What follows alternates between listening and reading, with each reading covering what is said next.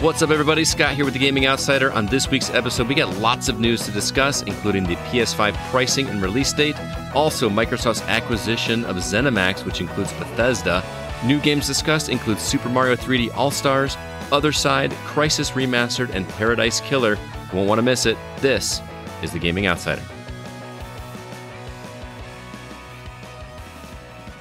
Greetings, programs, and welcome to episode 313 of The Gaming Outsider, a video game podcast with a focus on our incredible community. It's Monday, September 1st. I'm your host, Scott Clark, and joining me are my friends, Zach Parkerson.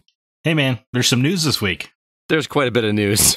Yeah. Uh, we're gonna we're gonna have to like limit ourselves to how long we talk about the news. Also joining us, Chris Baronsmeyer. What up, yo? Welcome back, buddy. Good to have you back. It's been it's been a minute. Yeah, it feels good to be back. That's good, man. Good to see you. Good to see your face. Good to see you smiling. It's okay to see your beard. It's okay. I just realized that the side of your head says licks. It says this is why my headphones say licks. Yeah. I can't take it off to see it, but anyway. Licks. before we get into the into the bevy of news that we've got, want to remind everybody this is the last time we can mention it. It is Community Game Night this Friday, September 25th at 8 o'clock Central Time. Uh, you won't want to miss it. We had a blast last time, and uh, I have games to give away. Did I mention what games were given away on the episode? You did. Or okay, so I won't say them again. But there's a good stack of, uh, you know, not brand new games, but older games. We're just gonna give them away to people that show up, and whoever calls them gets them, I guess. So we're gonna have some fun. Don't know what games we're playing yet. We're basically saying meet up, and then whatever you have, we'll make you a group with someone else that has that game, and let's just have some fun playing. I'm already planning to play some Fall Guys. Sorry, guys. I just I need to play some Fall Guys with with with my peeps. Um, Is- also, Is Tony Hawk online? Yeah. Yeah, let's play that. Let's get that going. Play a little All right. horse. Yeah, I'm down. Yeah, how does that work? You got to make a trick, and then the other person has to make the exact same trick. that's exactly right. Huh. That's got to be hard, man. it's I, don't, so fun. I, I, pl- I played OG Tony Hawk a little bit this weekend. That uh, in has to have aged like uh, milk. Not as bad as I was expecting. Oh, okay. I was pleasantly surprised. I am terrible at the game. Yeah, Completely terrible. I have no idea what I'm doing.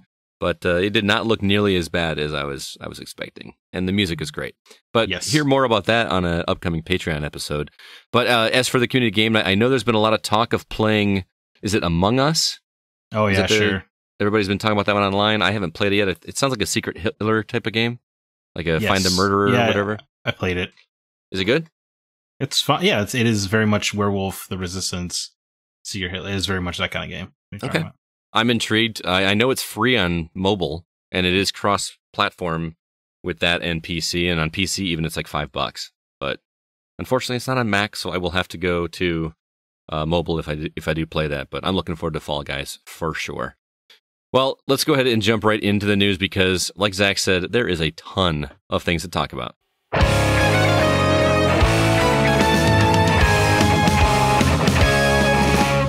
First off, some new trailers. A game called Foreclosed, which is releasing on in 2021.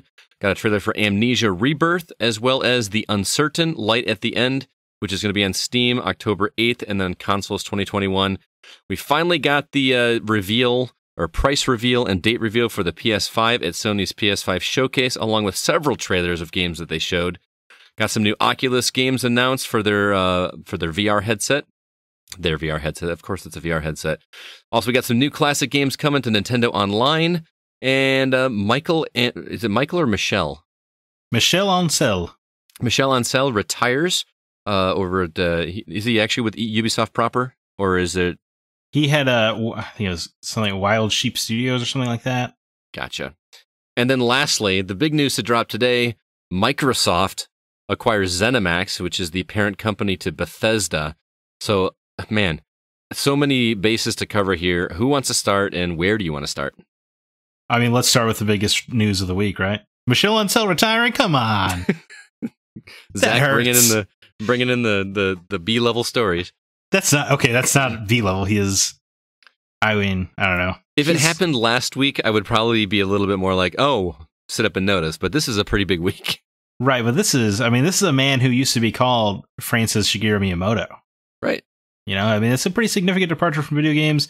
Also, that means he has two different video games he's leaving in development hell. So, good job, Michel. Mm-hmm. Uh, I don't know. It's just really weird. This is just personal to me because Beyond Good and Evil is a game dear to me. So I just want to talk about. Uh, I'm bummed he's leaving, and you know what? I think we'll. I guess he hasn't put out a game in like a decade, so maybe we won't feel it. Well, I was going to ask you, how much influence do you think he was having on Beyond Good and Evil 2? I assume I would assume. I remember he went out and cried when it was announced and stuff. Oh, really? He was he was in all the development diaries. They were doing like weekly video th- messages if you sign up on their newsletter. Mhm. He was pretty involved, man. But now he's gone, and uh no offense, but Beyond Good and Evil is Michel Ancel to me. I I can hear- probably agree with that. You know, there's just my interest uh, has pretty much bottomed out on BG&E too, and I imagine that's probably true of a lot of fans. So this seems kind of like a dick move on his Well, part. we also don't know how long that game is out. Right. when it comes out So- in 2025. Right. And what's he doing? He's going to like preserve wildlife? Yeah, he's going to a wildlife sanctuary. Work there. Wasn't he working on Wild? A game, a game called Wild. Yeah. Yeah, he left. Well, he you know based on how well he treated that, let's uh, hope he does a little better at the sanctuary. Ooh. Shots fired. Yeah. Shots But anyway, fired. that's obviously not the biggest news story. I just knew we, we weren't going to talk about it if I didn't talk about it at the top. Okay. CB? Uh, well, you already know I want to talk about ZeniMax. Yes. this we I, I was at work and I, I my phone started blowing up because I you know, I'm actually working now. and uh, like I was the last one to find out about this, but tell everybody what's going on. So Microsoft has purchased ZeniMax, which owns a bunch of studios, um, not just uh, Bethesda, but oh god, I I had my my notes here, Well, but Bethesda Game Studios, Arcane. They uh, would also own. Oh man, who MachineGames, who does Yeah. Wolfenstein. They own id now. id is an Xbox exclusive developer now. That's wild. Um, and then man, who is it? Tango GameWorks, which is um, Shinji Mikami's studio, Evil Within people. That's a that's a pretty major acquisition. yeah, Cor- correct me if I'm wrong, but when I read this news story, the first thing I thought was that this is the video game equivalent of Disney picking up Star Wars. uh, I would say it's well, Star Wars or Marvel. Like- Star Wars or Marvel. Yeah, I right. well, when Disney bought Marvel, right? That wasn't they weren't what they are now. Uh, but but you know what? Disney underpaid for Star Wars, and I would say that Microsoft probably overpaid for ZeniMax. Well, and that was disagree. that was going to be my point too, is because they paid what a billion dollars. seven and a half billion dollars. No, no, no. That's for ZeniMax. I'm talking about Oh, when for Star Wars, got it was sold. four billion. Four four billion. billion dollars. So Immediately donated to charity. Shout out to George Lucas for that baller move. That is a baller move. Holy cow! Yeah. Yeah, Well- seven and a half billion cash, which is nuts. So, what does this mean for Microsoft's relationship with uh, Bethesda? Obviously, they're going to be owned by them. Well, What that means is that these games, Bethesda games, all that, are going to be available on Game Pass on launch day. So your Fallout's, your Bethesdas, your Ne- Zach, you're shaking your head at me. It's just, it's just well, it's just insane to think about. Come play Elder Scrolls Six here for a service you're probably already paying for, Game Pass, or you can go pay seventy dollars on the on the other people's platform. That's if they even release it on PS5. Well- you know, that's just it's just it's hard to wrap your mind around. All of these games will be absolutely you know borderline free, right? Pennies based on what you're paying, Mhm. or you can go pay seventy dollars with a competitor. Yeah. Uh, I, th- this whole deal just blows my mind because first off, pro- props to them for keeping the everything in place, like Deathloop and Ghostwire Tokyo, for being exclusive deals for PlayStation. The the bigger thing that I took from this though was the next statement that Phil Spencer made that future games will be on a case by case basis, uh, in terms of exclusivity. So Right. That's not a direct quote, by the way. I didn't actually get it word for word on here, but he I- said case by case for sure. yes, he did say case by case for sure. Uh, this like the repercussions from this are just huge because now Microsoft has the ability to just be like, you know what? No, Elder Scrolls Six is going to be Microsoft, o- I, Xbox only.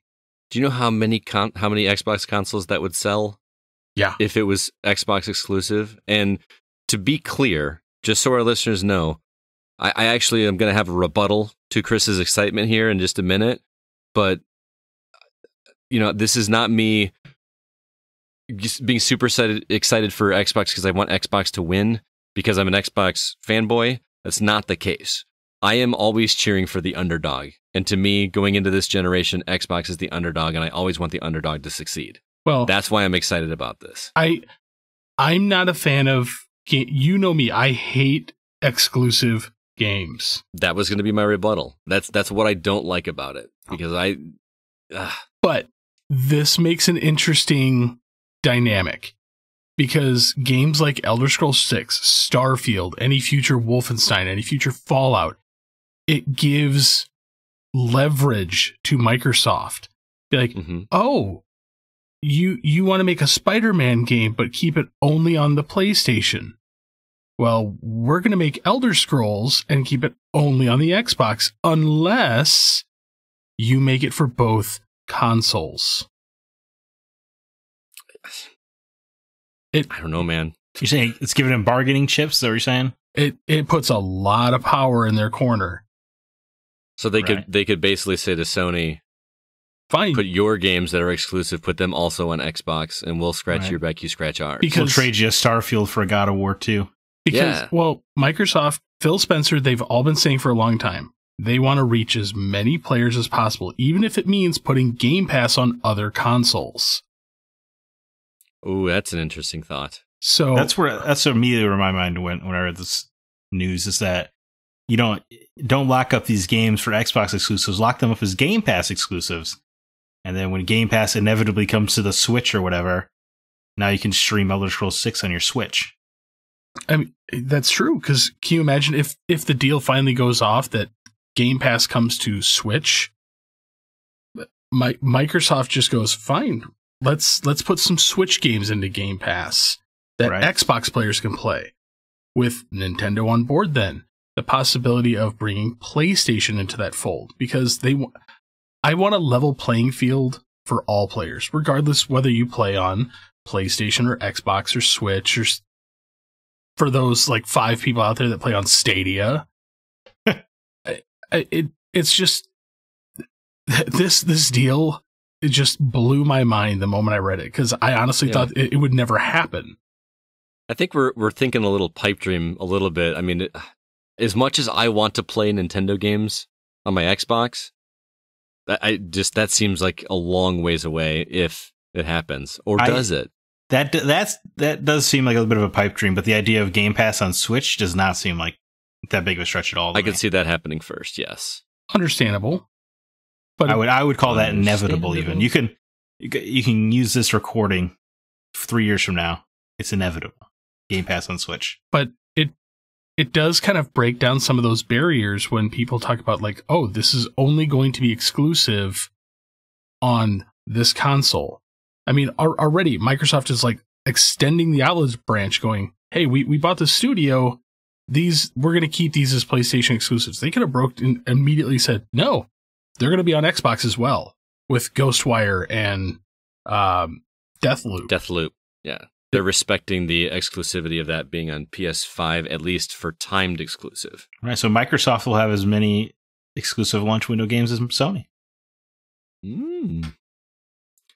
This this is huge, platform. guys. This is really big. And I mean, Yeah, it's, it- it's it's what the second largest uh, acquisition for a game company. Yeah, guys, I, I looked up some numbers because I like the numbers. But yeah, the, this is the second biggest acquisition ever because Supercell was bought by Tencent for 8.6 billion, which is insane. That's the Clash of Clans, folks. hmm And then, you know, then Microsoft's other biggest acquisition was Mojang for two and a half billion. And then Sony's biggest acquisition, which it just seems like peanuts compared to this, is three hundred eighty million dollars for Gaikai, the streaming technology. That's a word I haven't heard in a minute. Gaikai, yeah. Well, And then and then the most they've ever paid for a studio was the two what was it, like two seventy nine million for Insomniac or whatever. hmm So I mean that's well, these guys are playing in different ballparks. Do you also think it's a coincidence that they decided to announce this mere days after the PS5 showcase? it- That was that was totally intentional, right? well, and well, and none of us knew this. Right. Yeah, that's true. I'm- there wasn't even rumors about this. Yeah, I'm I'm this com- flew completely under the radar. But the the thing that blows my mind going back to your numbers conversation, Zach, the fact that a, a super like Supercell bought for like over eight billion dollars for a mobile game company. Right. But how much money is Clash of Clans bringing in every day? Who cares? It's a mobile game company. Uh-huh. You bought ZeniMax, which has multiple studios, uh, which has Bethesda, which has made some of the largest selling games of all time Right. for less than a mobile game company. Like that, that blows my mind. Like to me, to me, it seems like they underpaid. I don't know. I don't know, man. The money in those mobile games, they've, I guarantee you, they've made that money and then some. Oh, I, sure. I'm willing Oh, to yeah. bet they have. But then you have what 2.4 billion dollars for Mojang, the people that made Minecraft. Like right. That's a twenty dollar game though. I know. A twenty dollar game. They paid two point four billion. And that's one Man, all game. All of this is really basically like Disney robbed George Lucas for four billion dollars at Star Yeah. Wars, man. well, Yeah. George, George Lucas didn't exactly get robbed because he still has some merchandising rights. So like think he- everything I they sell, he he still makes many dollars. I think he also just wanted to wash his hands of the whole affair. Yeah. But it's just He's more tired of fanboys than anybody. What are you talking Yeah. about, man? They're bringing him back. Yeah. uh, I will say, I mean, anybody upset it, it was kind of even as a PlayStation primary gamer, it was really fun today watching online as all the PlayStation people are upset at the possibility, you know, of not getting Elder Scrolls, but then you know rejoice when Spider Man is only on their console and Avengers. Yeah. That- Those nice little penance. A, a lot Yeah. of forums that was hilarious reading. Like the Sony fanboys forever that have been like, "Oh, exclusive games are the best thing to, for any console," and now they're Right. like, "Exclusivity's bad." No, Yeah. Yeah. Watching people flip in real time has been a lot of fun. Mm, eat, eat, watching them eat crow just makes my day. And that's why I'm being clear that I am not trying to fanboy this news. I'm excited for Microsoft to be able to catch up and even the playing field a little bit more than uh I'm going to have both consoles at some point. It doesn't matter. Right. Uh, You know, the, the exclusivity doesn't bother me, but there are some people that are only getting one console and they get it. And if you're only if you're only getting one console and you're a digital gamer, there is absolutely no reason to not get the Xbox Series well, I mean. Spider Man, God of War. That I mean, is there are- not compared to the value of Game Pass. I, I get you, especially for the price. Well, not not to mention all of these companies' older games are going to be put onto Game Pass. Right. Yeah. So they just because we're gonna we're jumping ahead here with Sony's, uh, you know, what their uh, what what they call it the the press conference they did where they did the review I the think, it's just, I think showcase. it's the showcase, yeah. I could not think of the word showcase. They when they're when they did their answer to Game Pass, which is the service that's going to give you all these older games, including Fallout 4 was on there. But it's really not their answer to Game Pass, though. It's not. No, you're right. It's it's all older games. It's still really cool. You know, I mean, Right. the, the, but it, it is kind of a weird. I mean, we could. Uh, do you want to talk about that now? I guess, but well, sure. I mean, that's fine. well, just the the the PlayStation Plus thing you're talking about with PS5 is, I mean, it's a selection of mostly first party games that if you're buying a PS5 at launch anyway, you have most likely already played. Well, people like us, yes. Yeah. Mm-hmm. Well, I would think the majority of people who are pressing F5 to refresh the Walmart pre-order Right. page Right. are the kind of people who are not being benefited by this. Plus, on top of that, Xbox now has EA. I know we talked about Right. it last week. Eh, it was Zach, you and I talked about the the people that only buy these consoles for the Call of Duties and the sports games, or maybe even less. The Xbox Series S makes so much sense from a money standpoint. It's just it's just a stupid good deal. And I've been saying this for weeks. I said it last week, the week before. Xbox doesn't care if you buy the Xbox Series X or the Xbox Series S. They want you in that Game Pass ecosystem. That is what they're trying to sell. And they're they're almost not even playing the same game. And this to me is proof positive of that very point. They're thinking long term. Mm-hmm. Because as much as you hate it, Zach, and you too, CB, digital is going to be the wave of the future.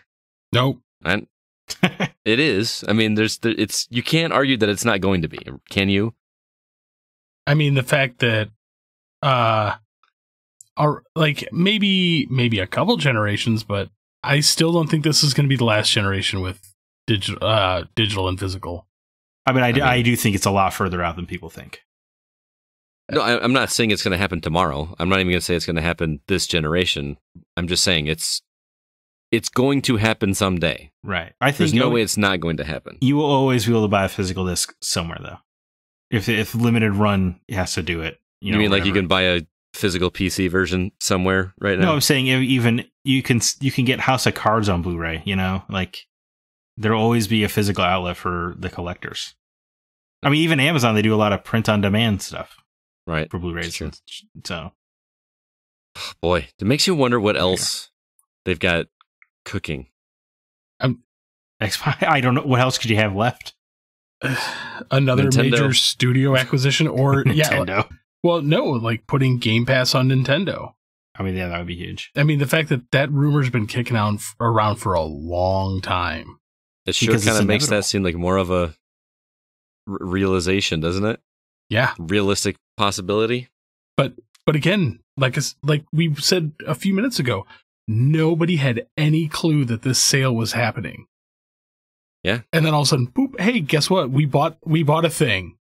I mean, I wouldn't even assume they were on the market. No, Yeah. but the the one thing that really does make me wonder though is seven and a half billion dollars in cash. hmm How deep is that war chest? I, I think they're they're okay. Pretty sure they're just fine. I mean that that's still a that's not a that is not a small chunk of change. No, I know, Todd, but you gotta Todd remember- Howard's about to buy an archipelago. He's he's literally going to build Skyrim. Yeah. like for real. Ah, that is that is really fun news. Uh, really fun news. But I think it would behoove us to uh, mention for sure the Sony PS5 showcase as well. Uh, that was. It, it's so weird that that's like the.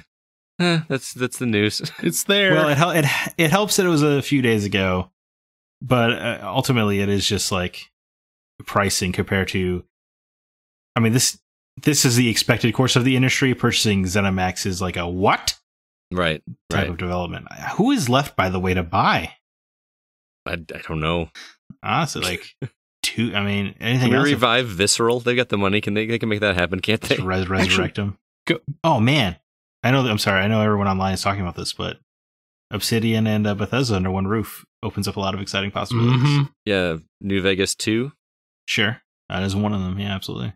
That would be pretty cool. I mean, that, Xbox is now Xbox went from a company with no RPGs to having three dedicated RPG studios. hmm Um, g- since well, I know that, but we're also talking about the PS5 showcase. oh Um, yeah, that thing. I I will say this showcase actually made me mad. Made you mad. it was incredible. No, I no, thought no. it was great. there's there's one there's one piece of news out of it that made me really mad. Are you you're upset that they're making a new Five Nights at Freddy's? No. Um, You're you're mad that uh, Spider Man and Horizon Zero Dawn are going to be on PS4. no, I mean, whatevs. There. I Uh, the fact that you if you're mad Final at that. Fantasy 16 is going to be a PS5 exclusive. Remember when we thought that that was the big news of the week? Yeah, We're like, man, nothing will top that exclusivity move in the ever. But it, Microsoft's like hold my beer. That- yeah. but it, but again, Microsoft has some bargaining power now. So you think that's Uh, not a done deal? I can we just talk about Square Enix? They're kind of dirtbags with this, aren't they? Yeah. Dating all the way back to Rise of the Tomb Raider being a Xbox One and, and uh, 360 exclusive, So they're playing both sides. and then yeah, but putting Spider Man only in the you know PS4 version of Avengers, which is an unbelievably scummy move that I feel like I need to call out at least once a week. and now Final Fantasy 16 on PS5. That's kind of people keep blaming Sony and Microsoft, but there's there's a company at the center of these constant exclusivity deals. That's all I'm saying. they're like an arms dealer that sells to both sides of Yeah, the war. I'm I'm Can't. Really serious. Like this actually really pissed me off. It didn't make me like I. I guess I just associate Final Fantasy to PlayStation so much. I kind of do as well. Although we've had we have had on Xbox But 15 games. like 15 was such a great game.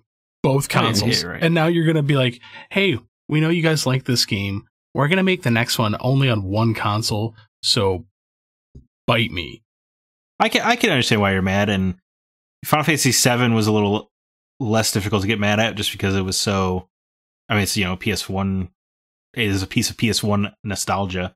But that's also coming to Xbox eventually, Right. right? This this is this is coming to Xbox eventually as well. Right. I thought it's a No, it's a PS5 PC exclusive.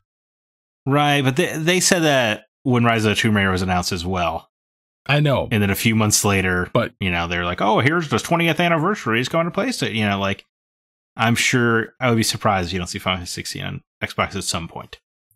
well, um, since it's PC, I mean, I'm sure Microsoft will find a way to backdoor it in. But it still, it still makes me mad. It just makes me really mad.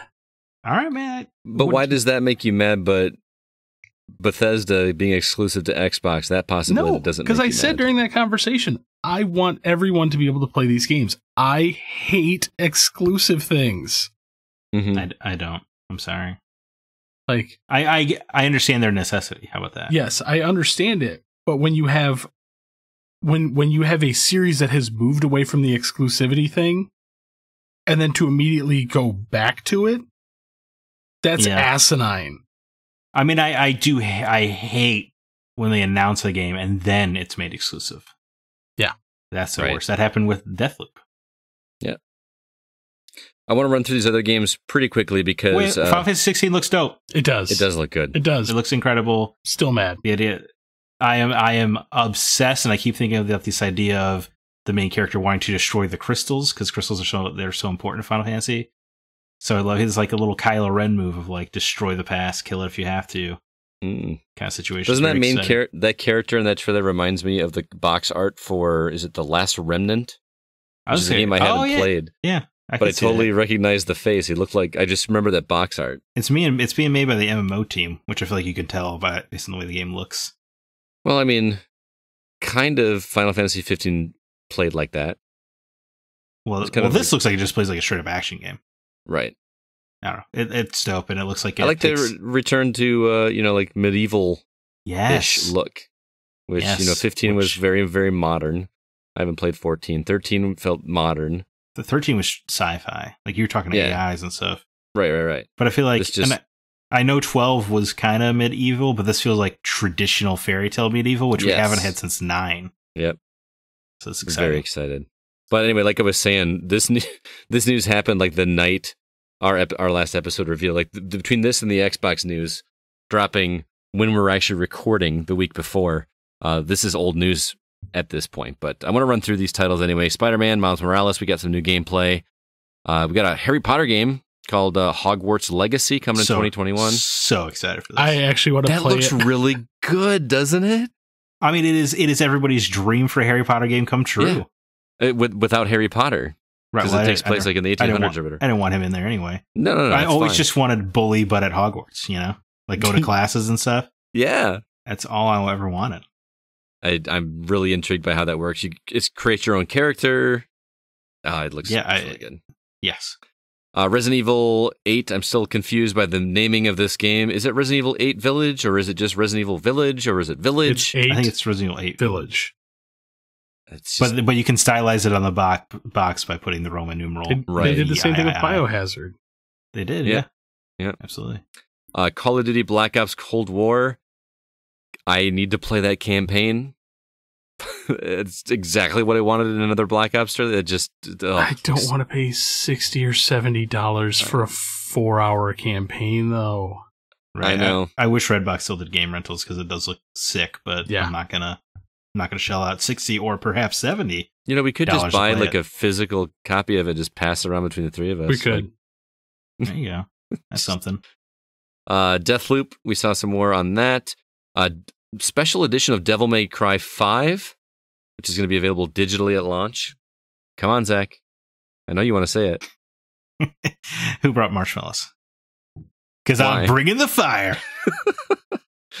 uh, new Oddworld game called Oddworld Soulstorm, a Five Nights at Freddy's game called Security Breach, the uh, um, remaster of Demon's Souls, which will be available is at launch. That is a remake that is costing you seventy dollars. Just want to point that out. Seventy dollars for People a remake. And people were upset that Crash Team Racing was only one game at forty. and or or you know, it's just the. I think Sony has earned the Nintendo bump, man. Yeah. Clearly, like the press is not talking about this, which is something that if I feel like if they remade just the first Gears of War for seventy dollars, you would be hearing about it. Yeah. But it's okay. No, Yes. because nobody's complaining about it. I have not seen a single person complain about it on Twitter or or any podcast or anything. Everyone's just like, oh yeah, seventy dollars. Only seen people joyfully pre-ordering it. Yep, exactly. And they closed the show with a, uh teaser for uh, the new God of War game. I assume it'll be called Ragnarok. Uh, all I had to hear was that music, and I was and I was kind of pumped. And then we got the prices for the PS5, which again is old news for you guys now. But the optical uh, version will be four ninety nine, and the digital version will be three ninety nine.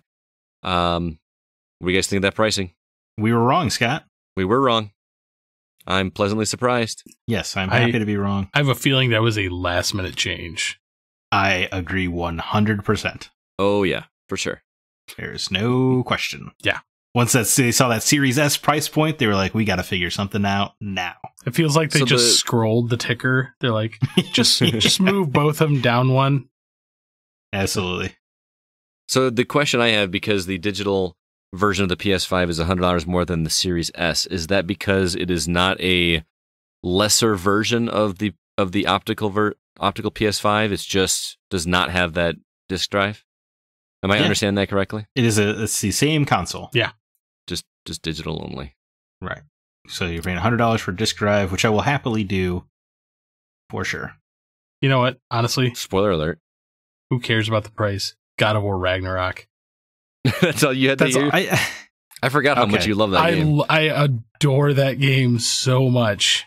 Let me tell you guys, ever since we started this podcast, I've been such a more positive human being in my life. But I actually I felt like a, such a cynic again this week because with Miles Morales, everyone's freaking out, and I was like, yes, it looks like Spider Man. Right. That yeah, that is exciting. You know, My, Miles is a character that is very dear to me. I've read every single one of his issues ever Mhm. uh, since they started coming out. Like that is a character that is close to my heart. But however, the game just looks like Spider Man. And then people freaking out about God of War. I'm like, it was a logo. Don't There, we we already knew this game was in development. Why are we excited? you saw how Well, it was- everybody flipped out over Elder Scrolls 6 and that was I, I also did not. that was just pretty pretty landscape and title. I guess I just I don't understand the excitement at non-announcements. It's just it's the fun to be excited about it, but man. it's I think it's more or less the the excitement that like we know that it's in the works, but to see that they've actually like like oh like we're we're actually officially like we're moving. Because how many games have we No, seen that ya. just hit like oh it's rumored and vaporware? There's no like to way s- that game's coming out in 2021. No, oh, absolutely not. not at all. No. I would actually prefer it more if we heard about this stuff like three or four months before launch, like Todd Howard did with Fallout 4. Uh, I, I am I am of the opposite mind. I wish they would do it like movies where they're just like, yeah, we got God of War 2 is coming in 2022. Like, uh, but they announced that in like 2018. 2022. I'm willing to bet 2023. For God of War? Yeah. Nah, No. five five years, no way, No. no way. We are Ooh, I smell a bet. Steak steak dinner bet. I already got one in. Actually, you know what? Yeah, that's you know what, Zack? Yeah. I will bet you, and the the winner gets to slap Scott in the face. no, no, no. Oh, wait a minute. great. Yeah, I like that a lot. That's perfect. I am not part of this slap bet. Yes, you are. Who's our slap bet commissioner? I need a ruling on this one. I'm not subjecting myself to a free slap from either of you. I'll bet you. I'll bet you comes out in 2022, and uh, I'll bet. I'll bet you the copy of the game. Okay, I will. I will say Q1 2023. I'm gonna say Q2 2022. Is this like prices Right? Like it's whoever closes. No, no, no. I mean, you just you, either of you get the year, Okay, yeah. but if you get the if you let's do that. Either of you get the year, but if you get the quarter right as well, then the winner also gets like the special edition version of it. that's oof, that really kicked it up a notch. I'm Yeah. just saying that'd be a that'd be a pretty. I'm gonna laugh when they announce the date, and it's gonna be like holiday 2022, and then like two weeks before they're like delayed to 2023. yeah, I was gonna say Right, right. that really has to be the key. Is is like Does that mean when it's announced or when it's actually oh released? no, it's Because you- release. Oh yeah, Cory. Cory, don't let me down. I'm from first name basis. Cory Barlog, of course. well, speaking of things that uh, piss off Zack, Okay. we are getting a uh, new Splinter Cell game. Oh yeah. That's you want to talk about this? I Zack? saw that and I immediately like just thought of Zack and I'm like, mm, mm, that's gotta hurt. Yeah. I believe I said some things I cannot repeat on this podcast. uh, did. at this announcement. At this point, it feels like they have contempt for the Splinter Cell fan base. like it's it it feels mean spirited at this point. It's been too long since there's been a Well, proper and- Splinter Cell game. and you know how much people are clamoring for it. You know, And you, you said the excitement with Michael Ironside coming back to the Ghost Recon DLC. You see how upset people are about this wacko version that's in Rainbow Six. So you're like, all right, VR. And you know what the most annoying part is? A Splinter Cell VR game sounds awesome. Yeah. But So not, it's hard to be pissed off, but not like this. Yep. Not like this. Actually, every one of the Oculus games sounds awesome.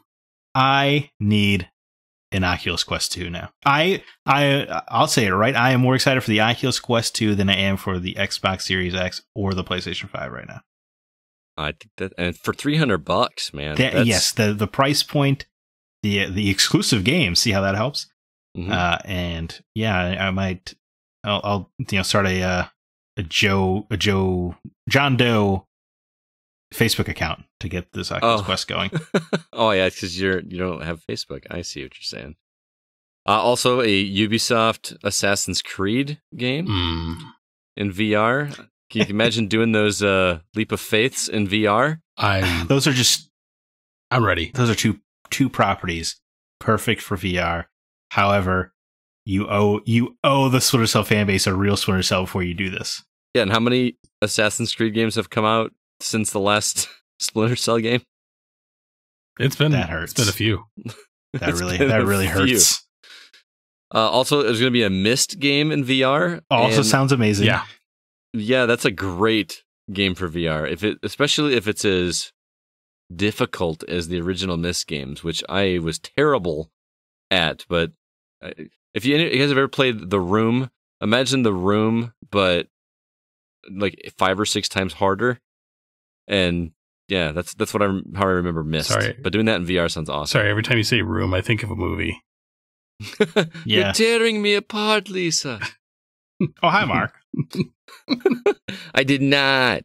Um, Star Wars Tales from the Galaxy Edge, Jurassic World Aftermath, Medal of Honor, Above and Beyond, Looks so Uh, good. Oh my which does the good. Oh man. Population 1, The Climb 2, which I assume Chris is excited about.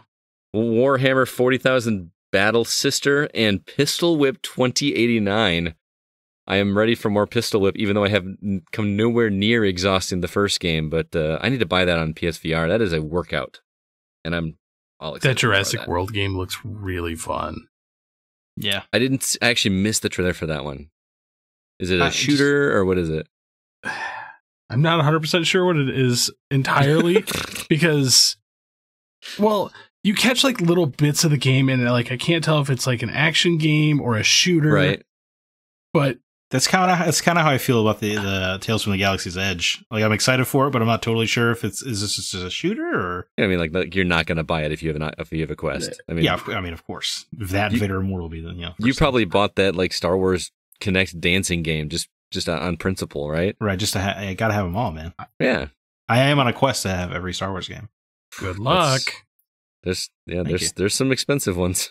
Um, but but the uh, the Jurassic World game looked a little like uh like you do have guns, but it also kind of looks like almost like Alien Isolation, where you're hiding from raptors and stuff. Yeah. Oh, And that's why I said like I can't really consider it a first person shooter because it seems Yeah. like a survival action game that just happens to have guns. Yeah, got a CB was already sold on it. You didn't have to throw in the alien isolation angle. I, I just like, yay. I kind of kind of did like the there's like that scene where she's like uh you're like closing the door on the raptor's face or whatever. Maybe think Alien Isolation. I haven't played that game. But can I get Alien Isolation on my quest? Because then I would just never leave. I'm surprised that it's not a thing.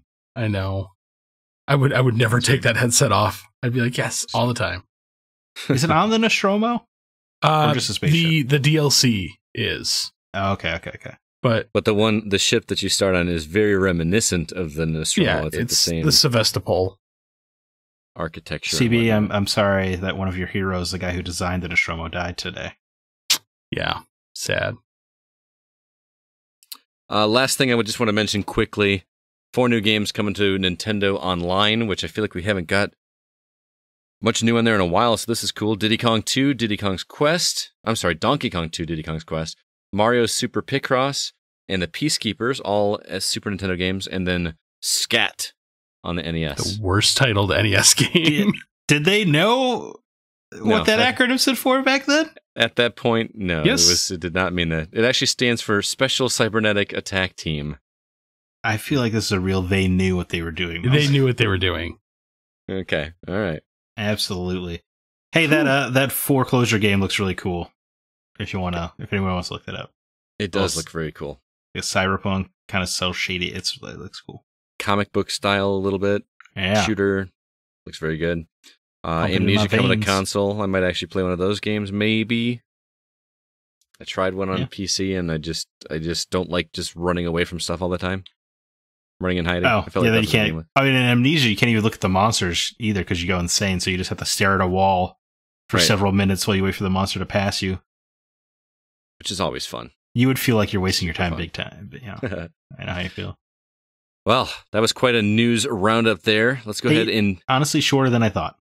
yeah, I really thought we were going to go at least an hour talking about that, but uh, we we kept it uh, succinct to a point, I guess. Uh, Patreon. Let's talk about that really quick. As I mentioned earlier, we do have a Patreon where we've got extra bonus episodes, and uh, since we are independently funded and pay for all these services on our own, um, we ask for help from you guys, and uh, we contribute back to you, give back to you by giving you some bonus content. Uh, CB, what is new on the horizon in terms of episodes? Well, most recently, we still have our drunken game trivia, versus, which is me versus Jordan Derringer High, uh, Mhm. and our Ghost of Tsushima episode with Zack and Mr. Nate Wilcox and Spencer. Uh, as far as upcoming, we have our Break the Seal episode where Scott plays some Tony Hawk. Yeah, still got to play the new one, but uh, It's really spicy. Um, yeah. And then uh, we're also doing one on racing games. Burnout, Yes. uh, Blur, Split Second. Should be interesting. Split Uh, second. spoiler alert: Christina is loving all three of those games, like way more than I expected her to. She actually bought the copy that I picked up from me because she liked it that much and wanted to own it. Of which one? Of uh, S- Split Second, no Blur. Sorry, Blur. Okay, yeah, yeah. Adult Mario Kart. Mm-hmm. And I actually, uh, she came over to pick up my console because she didn't have one. And so I was showing her how to play split second, and she was digging. She was watching me and getting excited, watching me play that first airport level. And dude, I forgot how fun that game is. Yeah, it's it's exceptional. It looks There- like a last gen game, but it is fun. It is so much fun to play. Ever told you my weird blur story? No, I, I had a I worked with somebody who every week, and this is in like 2018 in Chicago. Every Thursday, they would get a bunch of friends together and play Blur. that's random. Is that not this random most random thing you've ever heard? I mean, it's it's random, but I mean, people did it with Mario Kart now, and nobody bats an eye. Right, but that's such a huge franchise. Blur is a game that came out and bombed. Right. Like so, so it's such a weird thing for them to latch onto. hmm So yeah, if you'd like to hear us talk about those racing games or uh, old school Tony Hawk mixed with new Tony Hawk, uh, those episodes will be available by the end of the month, as well as our entire back catalog of Break the Seal, games that aren't for us, legacy episodes, uh, whatever you like there. Uh, and if you're interested, head over to patreon.com forward slash the GoCast. Uh, three bucks a month gets you one extra episode. Five bucks a month gets you two, and then there's tiers above that as well, where you get discounts on our on our store and uh, all kinds of good stuff. So be sure to check that out. We're going to now move into the games we've actually been playing.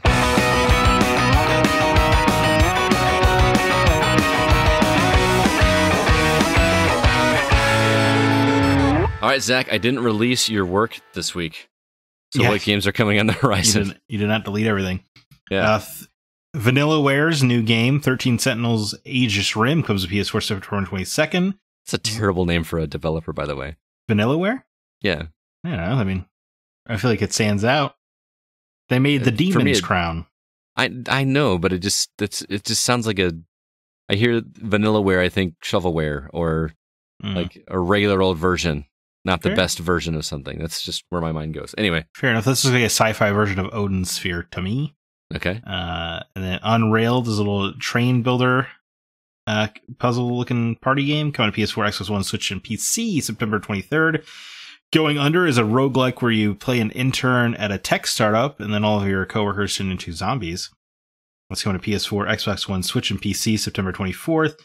Little Big Workshop comes to Xbox One September 24th. Roller Coaster Tycoon 3 Complete Edition coming to Switch and PC September 24th. Unbelievably, Serious Sam 4 is coming to Stadia and PC.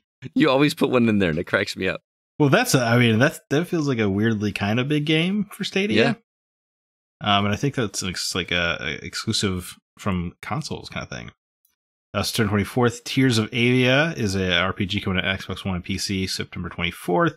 Tennis World Tour 2 coming at PS4, Xbox One, Switch, and PC September 24th. Remember when Topspin was out and good? Yeah.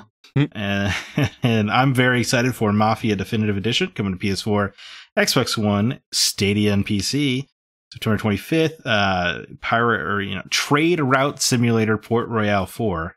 You make your trade routes via ships on PS4, Xbox One, PC, September 24th. And then Trollhunters, Defenders of Arcadia, based on the hit Netflix animated series uh, from Guillermo del Toro, coming to PS4, Xbox One, Switch, and PC, September 25th. It's kind of a big week. Yeah. A lot of games, but uh, nothing, not much that stands out. Mafia is probably the easy answer because I've never played Mafia, and uh, I've heard that the remaster just looks really great. It is So a I'm intrigued there. huge step up, that's for sure. hmm Yeah, very, I'm very excited about Mafia Definitive Edition. I, I, that first game was tremendous. Might be picking that one up too. Clean sweep for Mafia. Yep. Uh, Scott, I don't even know why Super Mario 3D All Stars on the Switch.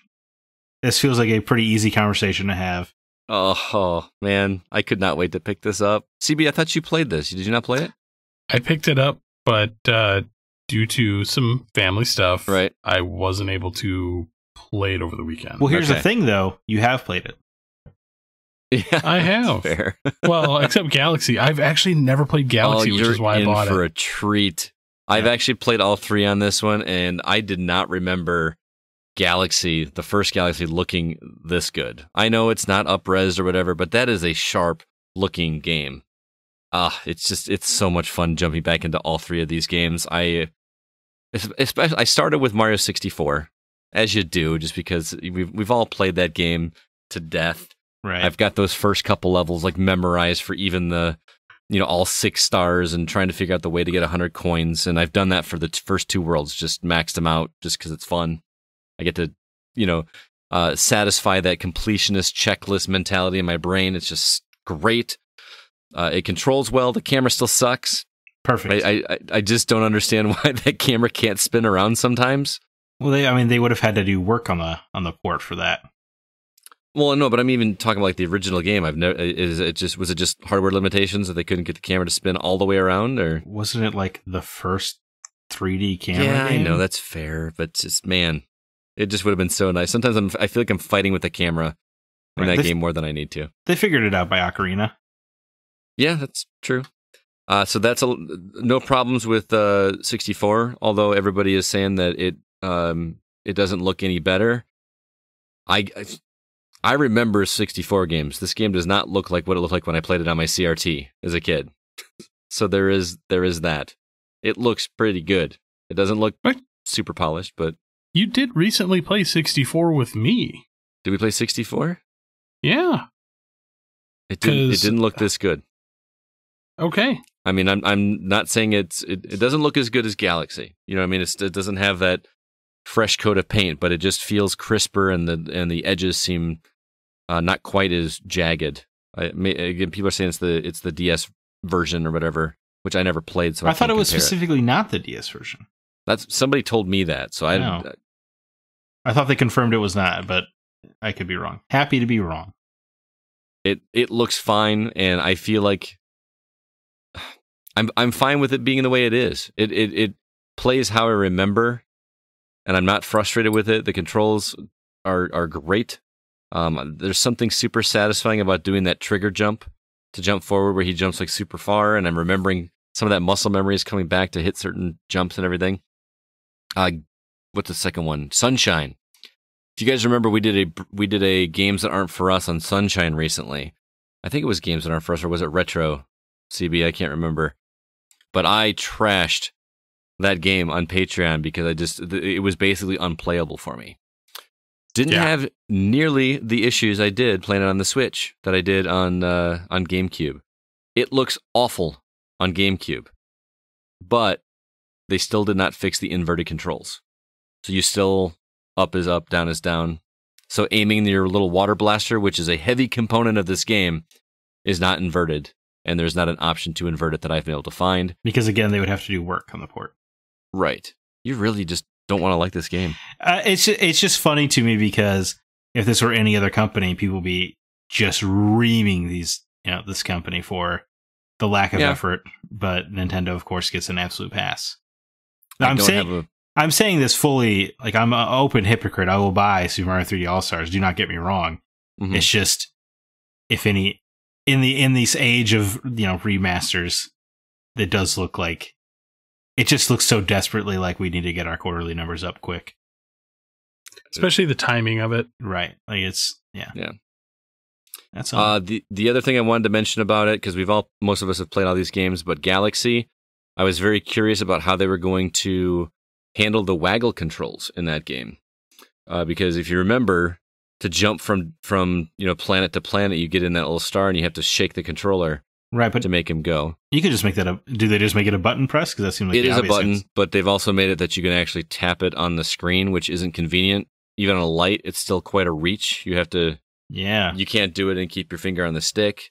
So um, the Y button also works for that. So I'm not having any issues. How do you collect those little uh, galaxy bits? Because you used to have to use the pointer. Well, you you can do that. You can draw on the screen and do that, or like if you want to shoot those. Remember, sometimes there's like coins buried in the ground that you get if you shoot them and it uncovers coins. Yeah, yeah, yeah, yeah. Like especially during boss battles and stuff, you can do that, but you actually have to physically tap on it on the screen. Oh, so it's kind of Which- that's a little bit of an inelegant answer. Yeah, it's not it's not perfect, but uh, the game is just. I'm having trouble with the um, you know the blue stars where you have to like kind of the, the stretchy ones you have to pull and release. Yes, You remember those? Yes. Those you have to do on the touchscreen. that's So so. Can you can you play this game docked then? I guess not. Well, you can play it docked because you can play docked with the the Joy Cons detached. But then how do you do the the touching the screen stuff you're talking about? Well, if you're doing it detached, then you just use it like a Wii, Wii remote. Then you're doing everything just like you Oh. played it on the Wii. So but you so you but you, He's but you wouldn't be able to use like a uh, like a gamepad or like the docking thing for the Joy Cons. Probably. Okay. you've you've are you playing this on your light? I am playing it on my light, yeah. So I don't have the option to play it with it. That is the one thing that sucks about the light is you don't have that option. But I would still take the light. Right. It's just so much more comfortable. But I am having a blast. I'm probably like I'm over 20 stars in in the first one. Um, probably about 10 stars in Sunshine, and maybe six or seven in uh in Galaxy. One thing that I did not remember because it's been I only played through Galaxy once. I forgot how good that music is in that game Oh yeah. it's just really great and all the soundtracks are included by the way which is which is kind of weird because i've never thought like where am i going to listen to some good video game music i'm going to turn on my switch yeah, I would carry my switch around. it's, it's just it's kind of weird but it's there if you want to if you want to have that and uh i'm having an absolute blast it's all i want to that and Undermind is all i want to be playing Would it, would you admit though the least they could have done for sixty dollars is invert a freaking camera? oh totally Yeah. like inverting is you know me it's it's huge I mean that uh, it just kind of does feel like the bare minimum. Mhm. And they didn't even do that. Yeah, and i But I'm fully with you, but I'm still not mad at. I'm still not mad at sixty bucks. I'm looking at it as twenty bucks for each to have the convenience. right. Um, Are you like happily going Galaxy to Two to be on there? Yeah. Are you going to happily pay sixty dollars for Super Mario 3D All Stars when it's re-released next year with Galaxy Two? Boy, that's I bet- interesting. I bet you will. See, I bought it digitally, so I would be a little frustrated by that because you know that that uh, physical copies of Nintendo games, their resale value is much better than other platforms, and so I wouldn't be able to trade in my digital copy of that. Now, if they offered me like an extra twenty dollars to get Galaxy Two as well, or maybe forty, I don't know, Yeah, I was thirty. It's a Galaxy's so good. I would pay forty. I would just pay forty dollars for Galaxy Two. Galaxy Two is so good, but I feel like that one needs the needs the joystick, the the, the waggle a little bit more. I could be remembering that wrong. Yeah, I don't really. I feel like the I feel like the waggle played a key part in some of those harder levels towards the end. I'm trying to remember because in my memory they downplayed it, Okay, but I don't and know. I think those are my my favorite portions of this game are when they strip you of the or no, this is uh, Sunshine, but when they strip you of the FLUDD, the Yeah. the thing that and it's just like a pure platforming Mario game, which is like a crazy platforming level. Those are my favorite parts of that game because they are tough. it's almost like FLUDD makes Mario worse. Yeah, that it's not great. But the, but some of the other platforming is really great in that game. Um, I just want to chime in real quick on one thing because I know you are a digital person. Um, you paid sixty dollars for this, correct? Mm-hmm. You made a mistake. Why? Could have gone to Walmart and bought it for forty eight. Oh, I got it for forty eight as well. I have a physical copy as well. Okay. We actually, um, Why? I'm keeping it sealed. It's Oh, rare. okay. I, it will be. Yeah. yeah, it Yeah. will be. Um, I, I was just saying because I know our listeners are out there, and I keep forgetting that Walmart actually sells new games for like ten dollars off. well, actually, Amazon did as well. I paid sixty for it on Amazon, and then when Walmart released their price, uh, they actually gave us a credit on on the Amazon order, so that was good. Best Buy did not. Nope. Best Buy Really? did not. Yeah. Uh oh, Best Buy's in trouble. Yeah. So Super Mario 3D All Stars. If you like these games and you just want to play them, it, it it's so nice. I actually bring my Switch to work, so when I get my lunch, I can just bust open my Switch and knock out a couple stars in you know 20 minutes. It's Yeah, it's, it's awesome. great. It's it's I- so nice to be able to do that. The game I'm about to talk about, I wish I could do. Kind of wish I had on Switch. Yeah. Yeah. Well, let's talk about that. You're playing Othercide, which uh, has been out for a little while, right? Or is it brand new? Uh, it came it came out in Switch this month, um, but it came out on PS4 and Xbox One in July. Okay. Um, and the publisher publisher Focus Home Interactive sent me a code, uh, sort of out of the blue, but I'll take it. All right. Uh, So what is it? Because it's really hard to tell from that trailer. well, yeah, I mean, first of all, if you watch the trailer, the first thing you're gonna notice is how striking the look is, It is. It does look good. and uh, I mean, it's like all monochromatic, like uh, black and white, except for these just these sharp pieces of red that are all over the place. Okay. uh, like you know the character's kind of wearing like a red scarf or something. It's just really, it's just really striking visually. Okay. Um, well, it is a uh, tactics roguelike. So you oh, think, that's right. Because you were telling me, yeah, it's roguelike, so I'd be interested, but it's tactics, which is Right. more up your speed. And a little bit of a. It's kind of a more simplified tactics game. It's not as as deep cut or as totally uh, hard as XCOM, hmm but that's fine, right? Because if it was, it would make the roguelike portion frustrating instead of interesting. Absolutely. Uh, so like right off the bat, there's only three classes. There's uh, the Blade Master, the Shield Bearer, and the Soul Slinger, which is uh, sword, shield, and uh, guns, respectively. Hmm. Um, and your and your goal is you get these little instances of you know quick little tactics gameplay, uh, where you fight demons or plague doctors, and your your goal is to you know murder them until you can uh, survive long enough to get to the boss, and you fight the boss, and the boss will kill you right away. Mhm. Uh, but then you'll but then you'll learn about the boss, and then uh, you, you you kick back to day one, and have to do it all over again.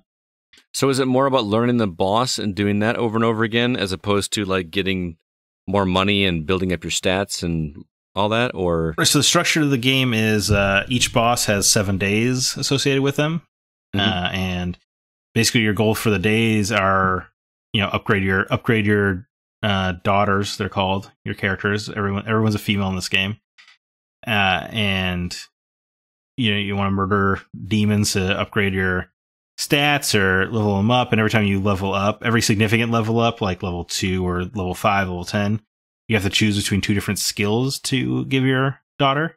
okay, uh, which is which is pretty nice little you know push and pull of like oh you know this this soul slinger has uh, an AOE attack, but this soul slinger can boost the speed of another character or whatever, and so it's just kind of a nice little uh, push and pull. And then each day, every character can only be in one combat engagement, so you have to you have to kind of be strategic about how you use your your daughters uh, throughout the week. Sounds interesting. Are you digging it? Yeah, man, uh, digging in a lot. Uh, the the two things that kind of differentiate that set it apart is it's got a little timeline system. Uh, so every every character has a certain amount of initiative, but you you can do so many things to affect the initiative, right? So you can uh, like the shield bearer can knock their shield into the enemy, and it'll put them back. There's a there's a timeline at the bottom of the screen, and it goes from zero to one hundred, and everybody has a number, right? So like you know the enemy might have 17 so in 17 seconds or whatever they get their turn Right. but if you can get to them on your turn you can like shield bash them and then like now they're you know 47 seconds away from their turn. So you push and them that- up the timeline a little bit. right and that might open up one of your other daughters who you know was in between there on the timeline to finish them off or something. Um and then if you but if you have 100 um action points every turn if you go below 50 it pushes you to 100 but if you keep it above 50 it only pushes it you can go sooner basically. So it's a little bit of do i want this this daughter's going to be out of the game for a lot longer if i use up all my skills or do i want to place them a little bit earlier on the timeline it's just a lot of little management decisions happening there and then the other aspect is uh your characters are supposed to die so it's got permadeath um, but the only way to heal your characters is to sacrifice one of the other ones to them Wow. I don't think I've played a game that does that. That's interesting. it's pretty damn cutthroat, man. Yeah. Uh, yeah, it it it hurts sometimes because the the kicker is you can only heal them with another daughter of the same level.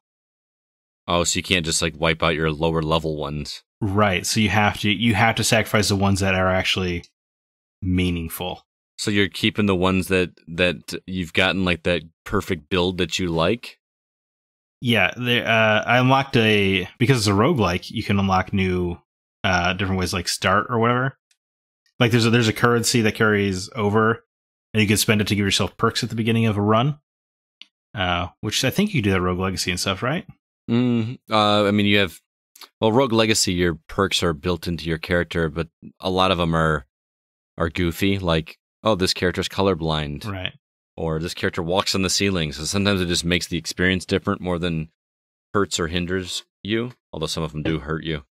Okay. Well, this has like you can resurrect a daughter, but it'll cost you 50 of the currency or you know, or you can give all your daughters an extra 15% health for 25 of the currency. It's just got like a bunch of cool different things. Mhm. You can even skip to the second boss's week uh for like 100 currency, which is cool. Oh, okay. But it's uh I mean it's just like you're constantly pushing and pulling and weighing your options and it makes every combat encounter stressful because if an enemy even hits you once, you know that could be catastrophic to a run.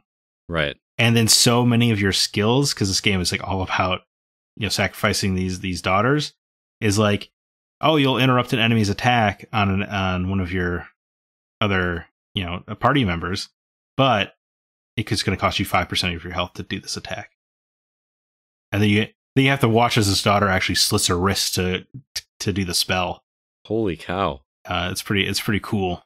It's pretty. Wicked. This whole game, by the way, is like so my aesthetic. Uh, it feels like very Bloodborne the way the characters speak, almost like poetically. And they're just like, even the loading screens are just saying stuff like, you know, send me your daughters. They taste delicious. Holy cow. Uh, it's it's just like a macabre world. It's so freaking cool. Like the first week is all the boss is a, a plague doctor, so all the enemies have like plague masks and stuff like that. It's really cool. Then you get to the second weekend, it's like a, a priest, so all the characters have like Bibles and stuff. It's it has such a wicked awesome aesthetic. That sounds really cool. Now, I know you've not been a big fan of rogues in the past, but this sounds a bit more up your speed in terms of the tactics aspect. Are you sensing the itch that I get with the the roguelikes that I like? Or is Uh, this Yeah, I mean more more than I ever have with the roguelike. Um, I'm liking it a lot. The aesthetic really does carry it for me. The the daughter system and it's funny how quickly I went from oh my god I can't I can't sacrifice you know uh Harmony you know you know one of my daughters because she's been through all this but then now that I'm playing I'm like well if I kill her now I can you know, I'll have more health for the boss fight so adios Harmony like it's it's funny how quickly that transformation's happened So do you get attached to these characters like you like from a narrative aspect, or is it just like, oh, this character's been with me for so long? no although there is more story in this game than I expected with this this character called the mother who's trying to save the child. Uh it's it's good and the child is like this infant who's just murdering things. It's yeah it's I was surprised I'm surprised how much story is but your individual you know combatants the daughters don't actually have uh much narrative impact but when you murder when they kill somebody it gives you a chance to get like a trait and the traits are substantial like uh there's one where if you know if this daughter has anybody next to them they each get 40% more damage Oh, which is significant. So you really want to protect them and you get attached to their skill sets and stuff. And then when you have when you're about to do your boss fight and you know you have two of these daughters who are maybe they're both, you know, down to a third of their health bar or whatever, and they both have these insane set of stacked skills, but you don't have one you know, a daughter another daughter high enough level to save them. It's it's stress it's stressful, man. And the boss fights are tense. You really have to pay attention to to their you know the way they operate because because some enemies will be like they attack the nearest uh, daughter but then another one will be like it attacks the nearest daughter with the lowest health and so you kind of learn how to kite them around ah, It's- interesting. it's- uh, Kiting something in a turn-based tactics game. I've never. I mean, I don't play them as much as you probably, but yeah i mean it's got a lot of systems i'm not i don't think i've ever played a game where part of the core c- combat loop is losing your own health Hmm. you know that's like and there's no re- there's no easy way to recover it. So yeah, man, I'm really into it. I think I'm going to keep playing it, which is unheard of for me in a roguelike. I, uh, agreed. But the the tactics angle I think is helping it. I do I feel like the runs are a little long, but I'm starting to get the first boss down to where I'm just you know, just I'll just start his week and then confront him on the first day even. So we're Nice. we're getting there. It's yeah, it's great, man. That is Othercide. You're playing on PS4, and to be clear, Othercide is spelled with a C instead of an S. Right, like a like a crime. And then the logo highlights the word her, which I thought was a cute little touch.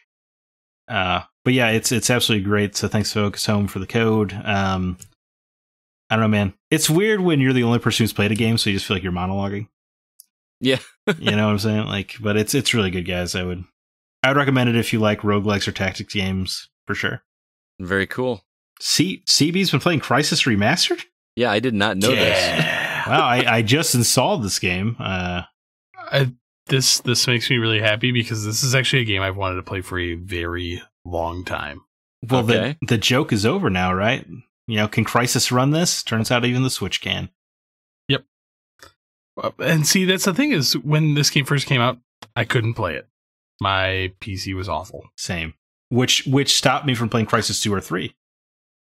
I played the crap out of two and three. I did too. Two is two is great. Three, not so much. I had a bow in the year of the bow, though. I thought that was that was three. I thought it was Yeah. two that had the bow. Three had the bow. Okay.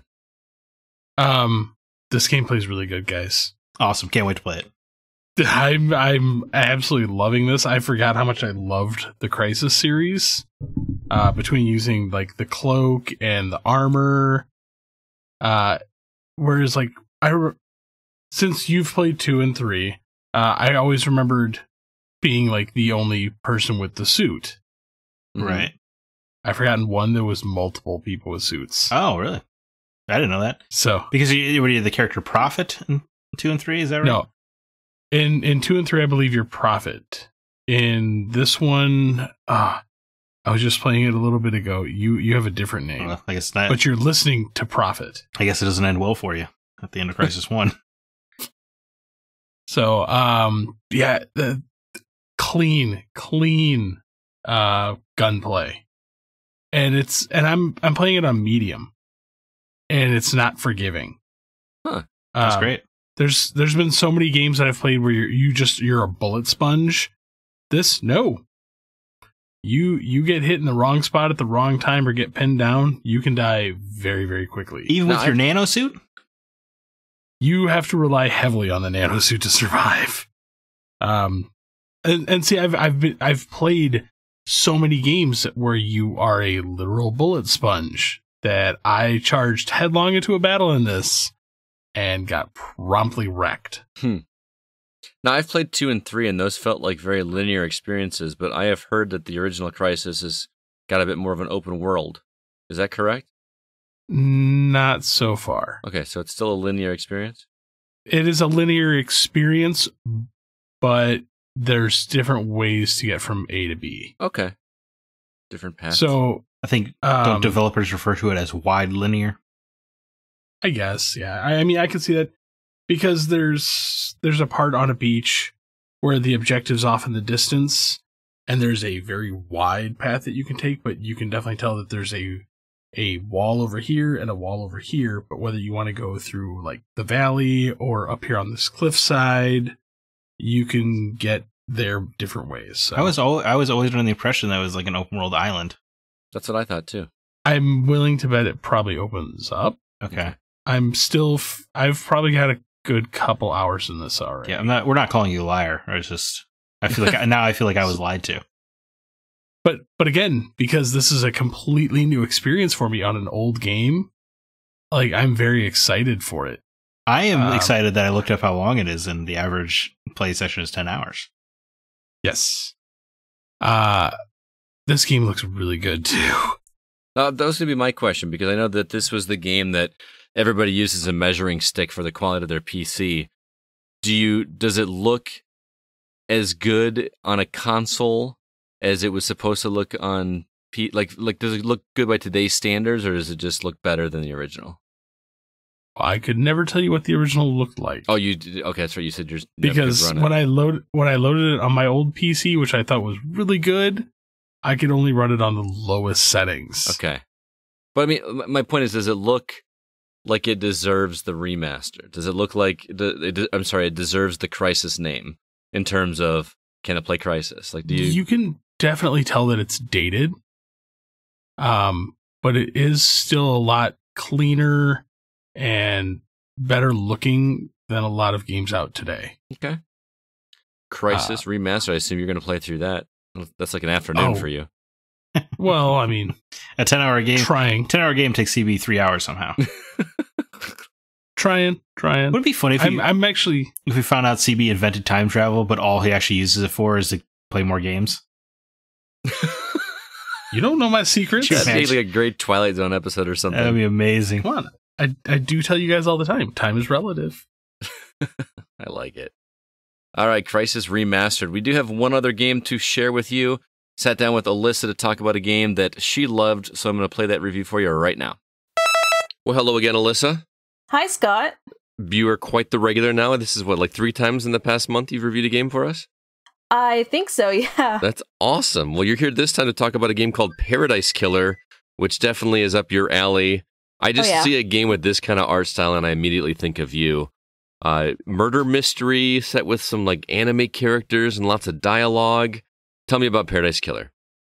Okay, so it's basically what you just described, but you play as a woman that has been exiled for millions and millions of years, and you're on an island that every time it, um, the island doesn't succeed, they regenerate a new island, so you're on the 25th island.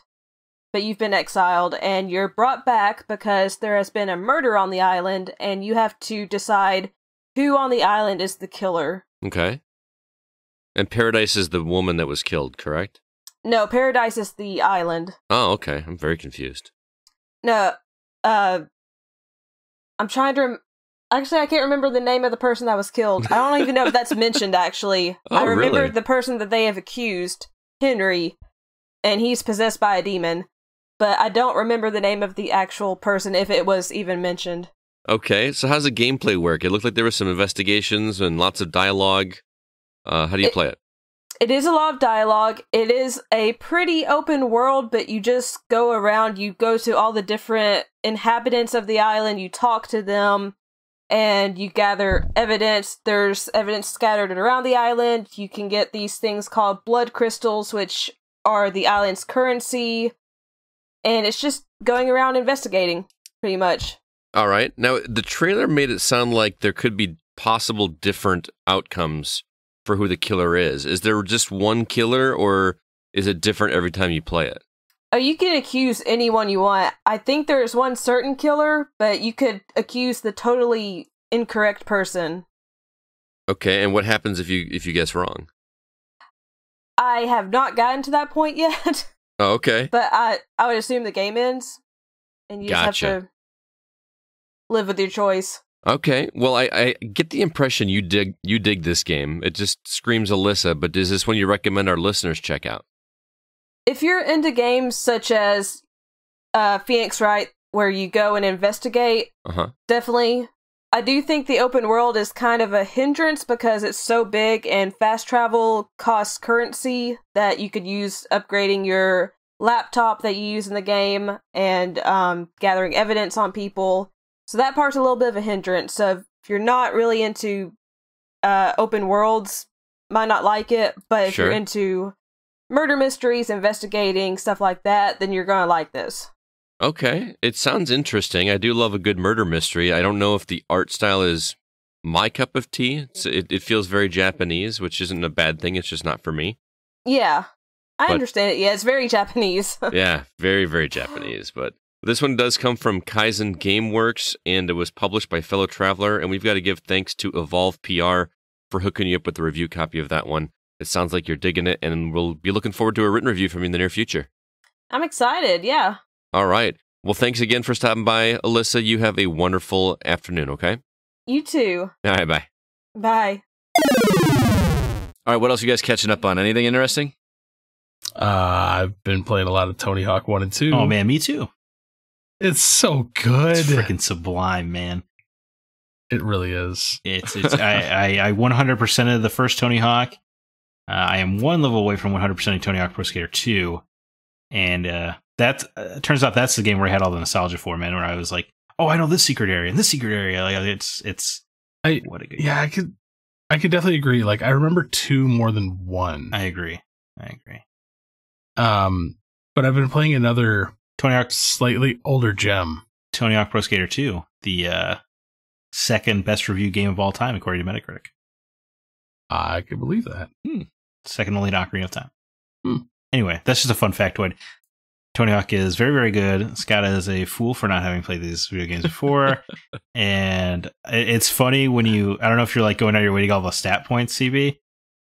I have been. It's, it's pretty hilarious when you like go back to play as another skater and it looks, feels like they're crawling after you Oh, dump yeah. all these stat points into one character. I'm playing, I I remember that on GameCube. it's just so ridiculous. I mean, I mean, the whole game's are ridiculous, you know. I mean, these specials are impractical and impossible. Hear, hearing all the noises that like your character makes, like when they take falls, though, is hilarious. Yeah, I mean, absolutely. I'm playing as uh, Liz Lizzie something. I don't know. I play as Bob Bob Burnquist. I I love I love that they made all the characters age appropriate or all the uh, skaters age appropriate. That's so funny. Yes. They're all just a bunch of old men now. They- well, they are. Well, yes, yes, yes. Uh, I really wish they could have put Bam in there. Did, was he was he in the first ones or was he didn't join till Underground? Did he? I think he was in three. It's possible. So I, I remember him being in one of them that I owned back then, and I only owned one, two, and three. So Right. Underground is I love Underground. Anyway, Tony Hawk, play it, everybody.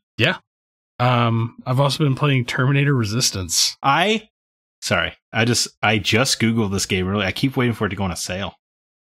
I want to play it. Yeah, you'll only find it digitally. right. I this this has been since uh, Sean Sean Coates re- reviewed it for us. I have been trying to track down a physical copy of it since that review, and I finally found one. Oh, Whoa, really? Really? Where'd you find it? It was at a GameStop in Southern Illinois when I was down there, and it was it wasn't even listed in their inventory. It was actually in the clearance section because it's actually been delisted out of their program. So did, you really. get a, did you get a good price for it then? Oh, I got a great price on What it. are you What are you playing it on? What are you playing on? I'm playing on Xbox. Man, I Uh, sorry, I really want to. This game looks I, I think it looks so good. It it it plays great, Yeah, especially for the. I I love this game. I've heard it's got a shockingly Like- good story too. yeah, it it really Sean it, Coates, it of course. gets its it gets its hooks in you real quick. Didn't it? Didn't it like do poorly? it did not get reviewed by critics well, but uh, It's not a, I've game, it's not a game found for that them. Let's be honest. Yeah, I've definitely found that there's been a lot of games that don't get reviewed by critics well, but when people play it, they tend to love it. right. And I love the Terminator mythos. This Hmm. is the time. This is the time period of Terminator that I love, that I care about. Yeah, it, it's it's the in between. Yeah, the, the, the apocalyptic, or is it? Oh, wait, it's it's before the Judgment Day.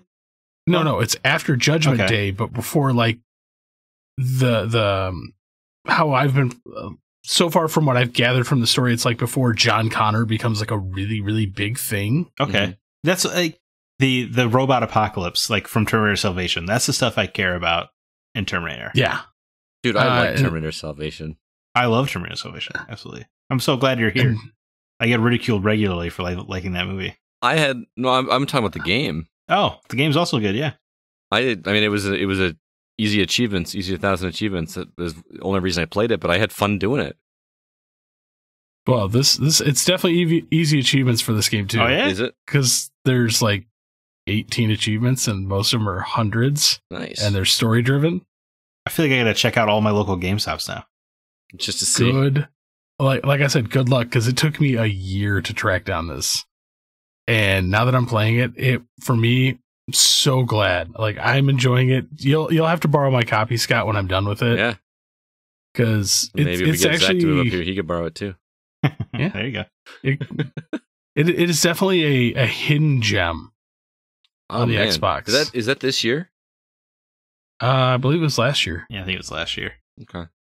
because the the first pressing was just before COVID really started hitting, and they were going to do the second print run of it, and COVID hit, and they couldn't print the second round of discs, which is why it's only digital now.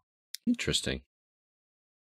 Uh, well, I won't linger on it long, but uh, I also played some more Undermine. Got through the fourth boss. Got one more boss left for my first run, and uh, this game needs to be on Switch. This would be a great Switch game, and also, much like Super Meat Boy, this game has a stupid amount of content even after you beat the main game. There is so much more to do after you finish it. I, I don't know if I'm going to do it because some of it gets really. I opened up like this hard mode. There's like a there's like an extra mine that you go to where they they kind of break the way the formula works in the game and makes you makes you play well without the I don't know the safety net that you have in the regular game. Uh, it's very interesting. The currency is much more valuable. Um, it's hard. It's very very hard. But the main game it, it does this thing like most roguelikes do where you get a good run where the, the stars align and you just get the right equipment that makes make you feel like a god. And unfortunately it takes a long time for you to get those godlike runs uh, t- for those to happen. But it is this is a great game. I love undermine so much. I'm shocked how much i like undermine and i will continue to play it. Gonna be an interesting game of the year. It's gonna be up there, man. It's gonna be. I've put so many hours into it. The timer's completely broken in the game, though. Still, I told you. I think I'm up to 245 hours now, and there's no way I've put that many hours in I that don't, game. know, I don't know. That's possible. That you know of. Right. yeah, someone, somebody's sneaking in there. But anyway, yeah, Undermine. Play that game. It's so good. And Drew Ross, thank you for making me play that one because I, I, I probably would have skipped it. Uh, anyway, speaking of our community, we got to say hello to some new people over on Facebook. Which, uh, if you haven't joined yet, do so. It is facebook.com forward slash groups forward slash the GoCast. Got to say hello to Eric Persinger, Stephen Asendorf, Jonathan Charles, Amy Graves, Mike Dragan, and Jesse Galvin. Also, we have a new person over in Discord. Lots of great communications going over there. Uh, just stay out of the not safe for work channel if you have a weak stomach, um, and or are easily offended. Because holy cow, there's some stuff that goes on in that channel. Uh, but uh, lots of great people over there. Uh, Murdoch is a new member over there. So be sure to stop by and say hello. No new iTunes reviews this week. However, we got a couple new written reviews over on our website, thegamingoutsider.com. The first is actually a video review from Rel, who uh, reviewed The Adventures of Pip. And Alyssa has a written review for The Suicide of Rachel Foster, which you'll want to check out over on the, on the site. Again, that is thegamingoutsider.com. And now we'll jump into our From the Outside In topic.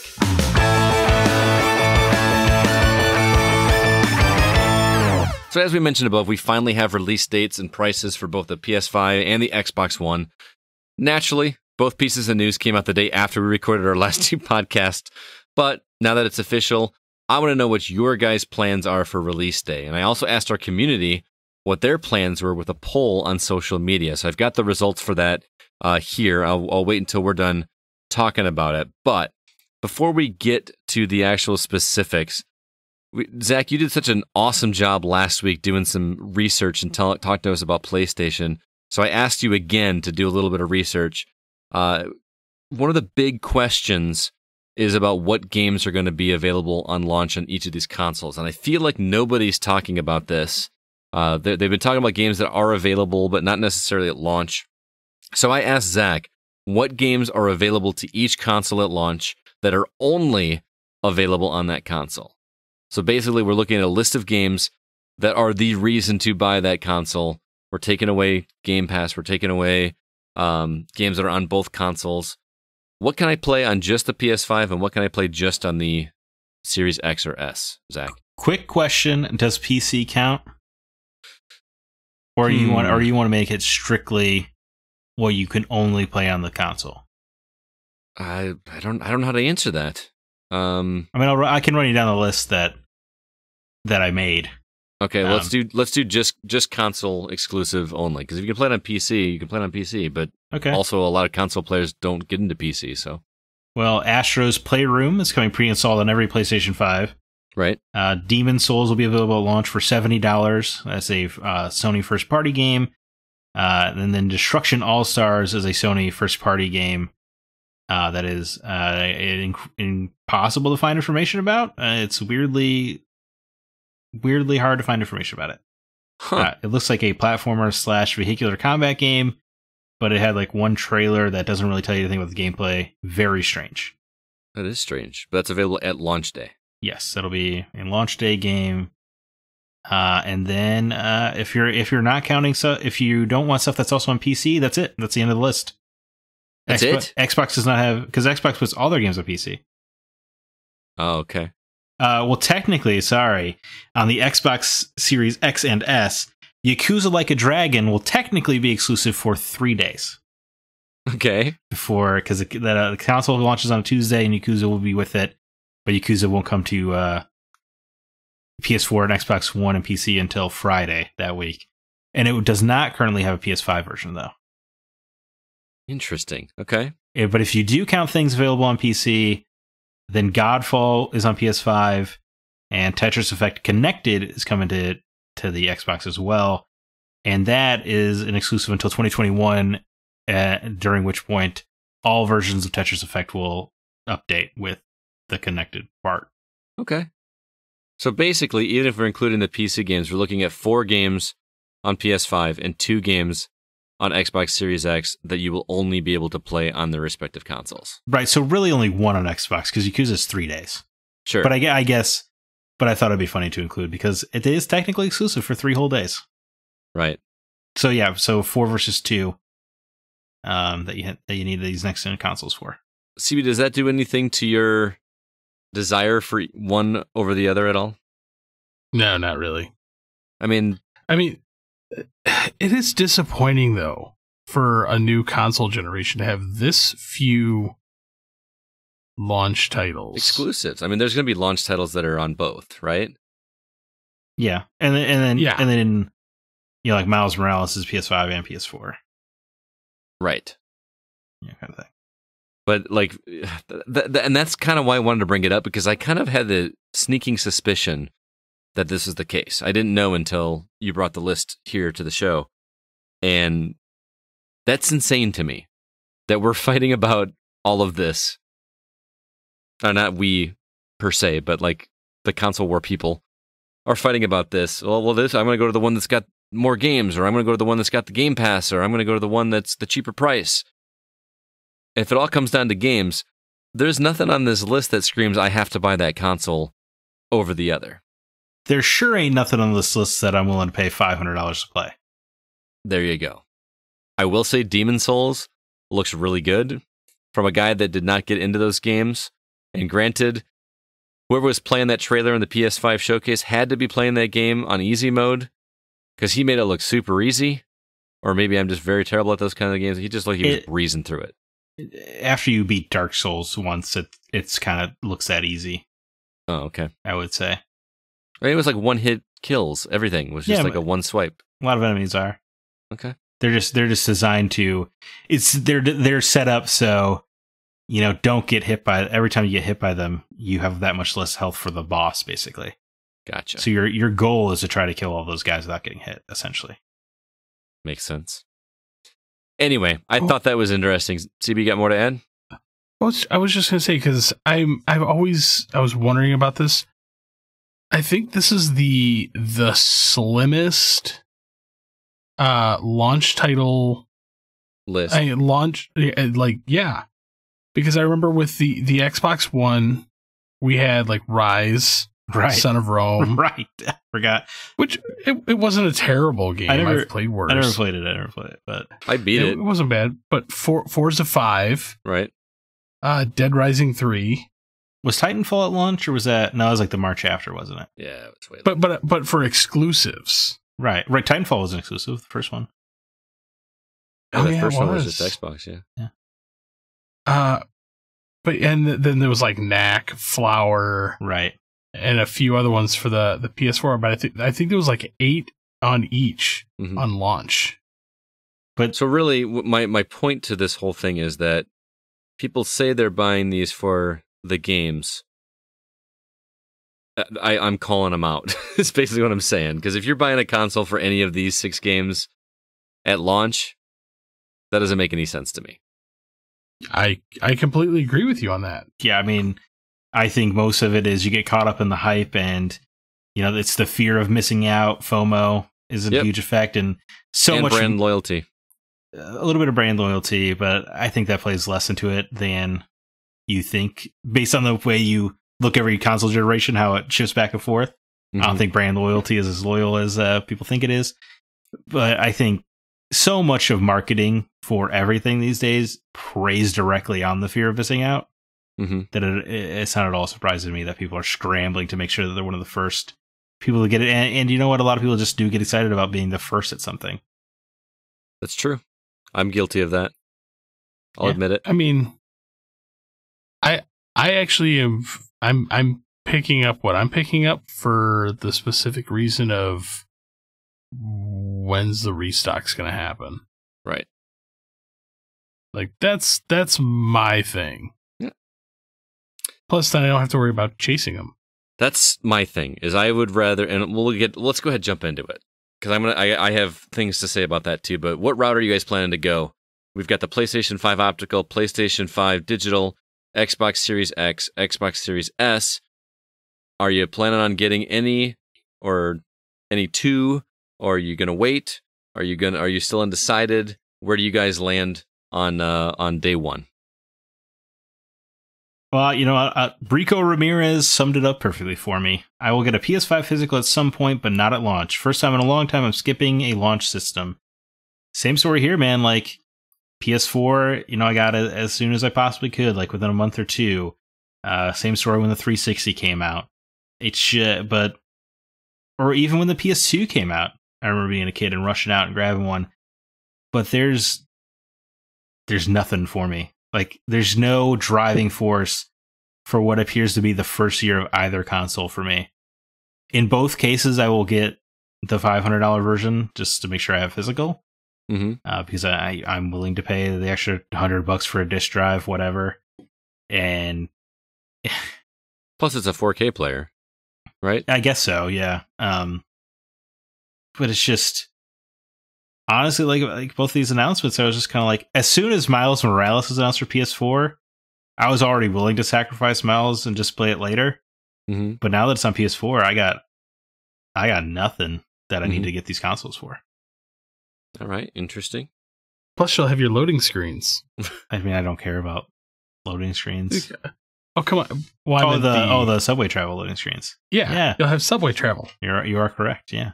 I'm sure they'll get you- a shot of something like that. Did you guys hear a Sucker Punch intentionally slowed down the loading on Ghost of Tsushima? No. Because, Why? Because that's how they got like the tips information out there because they were doing such an uh an unstructured kind of game. That the open world fast travel loaded so fast that they didn't have time for the tips to be there, but they were as an essential teaching tool for the player. So Huh. it slowed it down on purpose. That's interesting. Wild, Hmm. wild story. CB, what about you? What's your plan? Well, Adam Bentz from our community summed it up the best. Both day one, Both day one. preferably Xbox. Well, you've got a PS5 pre-order, don't you? Supposedly. Supposedly. Depends on where you order, because I got some more information on that today. Because you're you're not gonna it on Walmart. day one? Yours is Walmart, isn't it? Where where did you get yours from, I got mine from Target. Tarjay? Okay, as long as they're not the same, because I found out that apparently Amazon, GameStop, and a few other places, if you pre-ordered more than one from the same address, they're axing them. Good, Oh, it makes sense. good. So, bravo. Well, to Um, be I- fair, I have two pre-ordered, but one of them is for you. so Yes. because I'm a little Yes. more quick on the draw, apparently. Well, that and I didn't have time to make a Walmart, a, a uh, yeah, Walmart account login. I will say I got caught up in the hype enough to get it in my Walmart cart, and then I go into checkout, and I was like, "What am I doing? I don't want. I don't want this." Right. If you had it in your cart, you won the game. Yeah, I So- already had the satisfaction of knowing I could have gotten one, but I don't. I don't need to Um, rush like this. Like the Switch, I was willing to refresh it for because I wanted to play Breath of the Wild so badly, Right. and there's nothing on PS5 that was making me do that. Breath of the Wild was enough too. Yes, Breath of the Wild was a game I was happy, and even after beating it, was still happy to have paid three hundred dollars to play. Right. I will. I will say, Breath of the Wild is the game that made me go out and buy a Switch, Yeah. and then I never played it on my Switch. tremendous. It's such a tremendous game. You played it more on mine, didn't you? I played and beat it on yours, Yeah. and then I bought it for mine, and I've never played it That's on mine. amazing. Um, but I, it, it's a little disheartening because with with the with the snafu that happened, Yeah. um, I got a call from some GameStop managers today who are friends of mine with the Xbox One, uh, and they did not get big numbers for these. Uh, each one of the GameStops in town only has five. Holy cow. That does seem low. five five physical uh and some of them have more digitals but uh the GameStop that I'm going to be working with tomorrow they have five physical two digital For the X? for the X. for the Series X and the S Here's my question. How's that going to work, by the way, for pre ordering? Like, can you pre order and do the payment plan? um specific stores have it some stores don't So, like, if I go to through like Microsoft, can I buy it just directly through them and do the payment plan? yes uh, it sounds like the way to get the payment plan is to do it directly through Microsoft. Because after talking with some GameStop employees, they're not even 100% sure how that's going to work. Yeah. well, with GameStop, you might make, you might get it for cheap because they might be out of business before you pay it off. Well, you, uh, you, they still will have. See, that's the thing that they they're not sure about because you have to make the payment plan and everything. What, like, you have the console in your possession. What happens if you miss a payment? Well, I assume your credit gets dinged. There's no credit check. There's no credit check. Nope. Well, you have a credit card on file, I would assume, right? I can go get a credit card from Walmart. Put a hundred bucks on it. Right, but Well- even Redbox didn't take vanilla gift cards. They did for a while. Well, they did for a while. I am sure. I'm sure Microsoft is wise enough to not accept vanilla gift cards. What's what's to stop me from opening a bank account somewhere and Well, sure. for like a hundred bucks and then purchasing it and then draining the account and closing it? Well, there is, of course, your moral standing. There is. It is a crime, But- there is that. Yeah. but, minor but it makes me details. wonder. But it makes me wonder what Microsoft is going to do. Are they going to like lock your account or just system lock you? Oh, that'd be cool. They just brick your Like, console. brick yeah, Yeah. just oh you didn't pay brick your console but that ma- that makes things even more interesting let's say you weren't paying attention and you overdrew your account hmm and microsoft's like oh you didn't make the payment brick your account i mean brick your system they give you a five day grace. whoops No, you're hopefully well. You're right. It does bring up questions. I just assumed there was a credit check the whole time. uh, from from what i've been told nope Does that Hmm. mean I could pre-order an Xbox Series X tomorrow for thirty five bucks?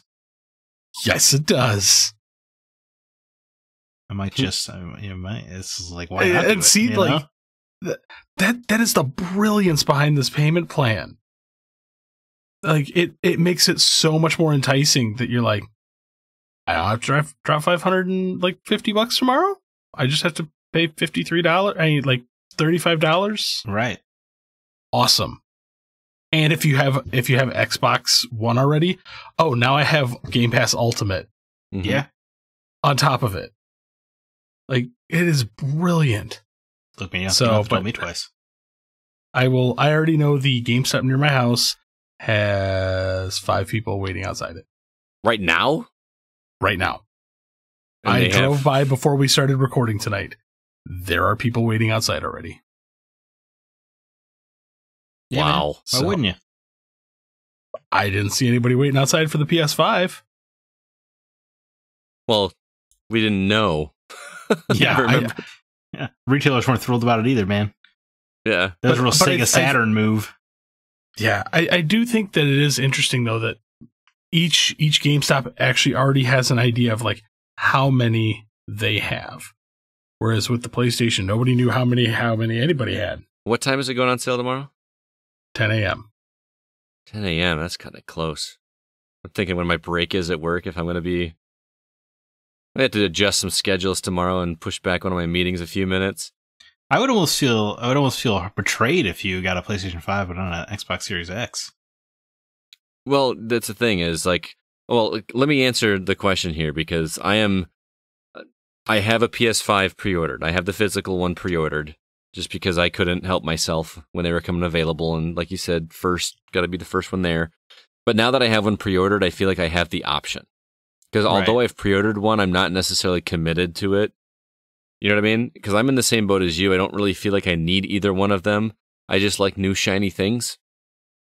And I, I just I wonder how many people are going to be having uh, buyer's remorse with these consoles. especially with the world's largest console. yeah, that is, a, that is true. That is pretty large. Uh, yeah, I, I there's no way I'm not going to try to pre-order one tomorrow, especially if I can pre-order it, only put down like 35 bucks. There's just I mean, can you gra- can you grab me up one too if you get it in your card? I mean, well, apparently I can't because they start axing him if you you know do it with the same account or whatever. So I don't I don't know. Yeah, I, I've actually been told that as well with um from the two managers that I talked to because you know how many times people are like, well, I'm pre-ordering one for me, and then one for my brother and one for my sister. Mhm. No, Yeah, you can't do it. 'Cause how do you how do you know who's telling the Yeah, truth? And that- it's just a gray area. But so Yeah. that's where I'm at. I still really just want the Xbox because I'm in that ecosystem, and especially well, after the news today, sorry, that I- news dropping right before the that the pre-orders is also another brilliant stroke. I didn't even think about that till now. Oh yeah, absolutely. I mean, but it, it really is like 25, 35 bucks up front, and you get like, why not? Yep. They've put themselves in such a great position of why not. And I knew Why? PS5 was not going to have an install plan because they are far too arrogant. They're way too in an arrogant mood right now. hmm I mean, it's just, yeah, man. So Scott Scott was here the night that I got the pre-order for for the PlayStation, and I had to go break the news to the wife. Not happy. When I told her, I'm like, "Oh, tomorrow I'm gonna pre pre-ordering the the the new Xbox," and she's like, "Great, how much is that gonna cost?" And I'm like, "Well, you know how I pay like fifteen dollars a month for this?" And she's like, "Yeah," and I'm like, "Well, it's just double that. That's it." And she's like, "What are you talking about? You don't have to pay fi- like five six hundred dollars up front." And I'm like, "No, that's the great thing." And she's like, "Oh, well, I guess that's not so bad." So the fact that even she was like, "Oh, well, I guess that's not so bad." yeah, And coming from the my wife who hates video games, like right. that kind of blew me away. Well, that's the thing is I can come up with 35 bucks a month. You know what I mean? I can right. It, it's it's difficult for me now. I've only got about 70% of the about half of the money for my PS5 that I've pre-ordered. You know, so I've got to you know start selling blood or plasma or something. um, but coming up with 35 bucks, it's a little bit a uh, little bit easier to do. But uh, yeah, I like having the option. But if I had to pick one or the other, my after watching that showcase, I was kind of sold on PS5 because I thought that presentation was really great. They showed some cool stuff. Their their PlayStation Now was looking more attractive, although I don't really need to play any of those games anymore. Played most of them. Uh, the just some of the other upcoming stuff was looking more enticing than Xbox One. But after seeing this day one stuff, I'm with Zack. I don't need either. But you know me, I'm going to wind up with one of them. Yeah, of course. And I am going to go physical as well. I know I sound like a hypocrite, but uh, Captain Digital goes physical. well, what? I like options, man. I Well, like as- options. I would say if if he's pre-ordering consoles just for peace of mind, it only makes sense that he would get a disc drive for peace of Yeah. mind, and not for like. And it also opens up your backwards compatibility options. Yep. Especially in- some disc games. for for one system. yeah. Well, you could. I mean, but your PS4 games, right? But it is nice to know you can put an Xbox, the original Xbox disc, into the newest Xbox console and play the game. is pretty, Mhm. Pretty great. It's pretty rad. And then it opens up like if I want to buy one of those older games, even 360, right?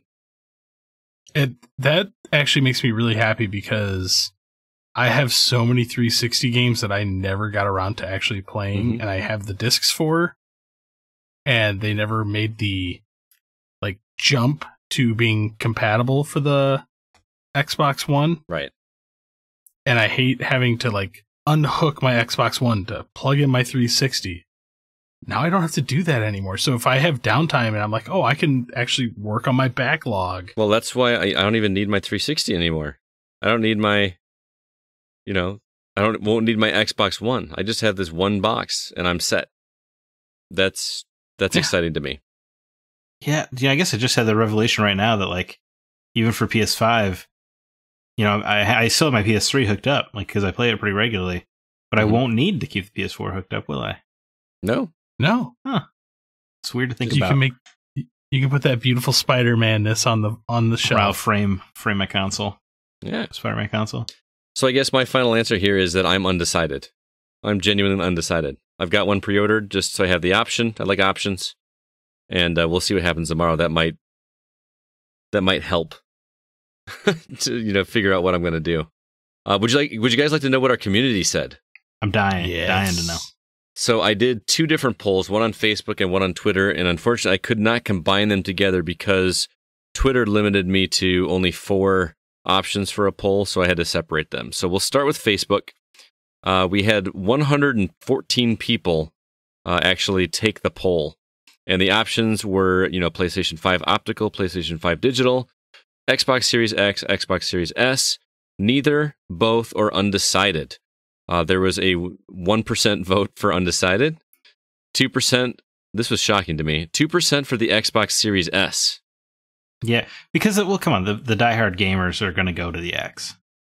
Right. And I guess, yeah, we're in a gaming community, so that, yeah, I guess that makes sense. Uh, 6% PlayStation 5 digital. Oh, Both was uh, 11%. Uh, we had 16% for the Xbox Series X. We had 18% for the PS5 optical. And 47% said neither, wow. which was shocking to me. I mean- 54 votes for neither. That tells you what a different world we're in with the than Twitter is. You know, That's a good point. and Twitter seems Um, like everybody's just Well, like you said earlier, that I'm not surprised by that number with the neither same. Because of the lack of exclusive titles at launch. Right. And that was kind of why I had Zack do that research for us because makes sense. Uh, Twitter was a little bit of a different story. For obvious reasons, I couldn't put uh, both, neither, or undecided, so those were removed from this poll.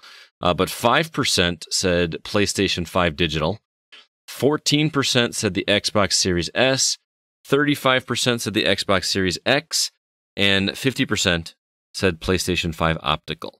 It's almost like every video game podcast that won't shut up about how everything is digital now might be wrong. hey, I didn't say tomorrow. Hey, I said, I actually was not calling future. you out directly. oh, well. I yeah. feel I listen to other video game podcasts, and I just feel like it's almost like a weird, like, like, they form want of- it to happen. yeah, like it almost like a weird form of activism hmm where they like want everyone desperately to be digital with them. It's just very strange. I mean, Game Pass Game Pass really does feel like there's a huge push to digital. Of course, yeah, So, yeah. With the and as much and I will admit, as much as I hate it, I will agree to a point. I mean, there will always be a physical option out there somewhere. but yes, the the world is moving to digital. of course, There we go. man. I, I don't know. I'm almost like, do I just should I just get the Series S? Honestly, because I only play it for exclusives on Xbox anyway. You sound like you're sold on it. Like you just uh, like I don't even know why if if I'll the S it. is for you 25 bucks a month. Right. Well, I was thinking, I was like, I need the X, but do I really need the X? I don't think so. The do you have a 4K TV? Yeah, but I'm also I'm not that guy. Who cares? Do you have a lot of physical Xbox One and or Xbox 360 games? I got a lot of physical original Xbox and 360 games, but I can already play those on Xbox One. Oh, so you're gonna keep the old Xbox One? Sure, dude. I I've regretted too many times in my life selling a, an old console, Okay. even though it, even though it seems impractical with this generation jump. But first of all, then I can just have them all, you know, like in my museum Yeah, but you, one day. you you don't have a classroom like I do that you can just throw an old console in and True, still keep it, but also share it with your students. but but then on the other hand, I do still routinely play my original. I play my original Xbox games on an Xbox anyway. Usually, True. what am I doing? True. Well, hey, look at it this way. If you're debating on the X or the S, I mean, the really only price difference is what Ten bucks a a month, large a large Starbucks drink right? like once a month. Yeah. Once a month. Starbucks drinks are 25 bucks now? Ten. No, no. I said the difference the between the S. Yeah, Yeah, gotcha.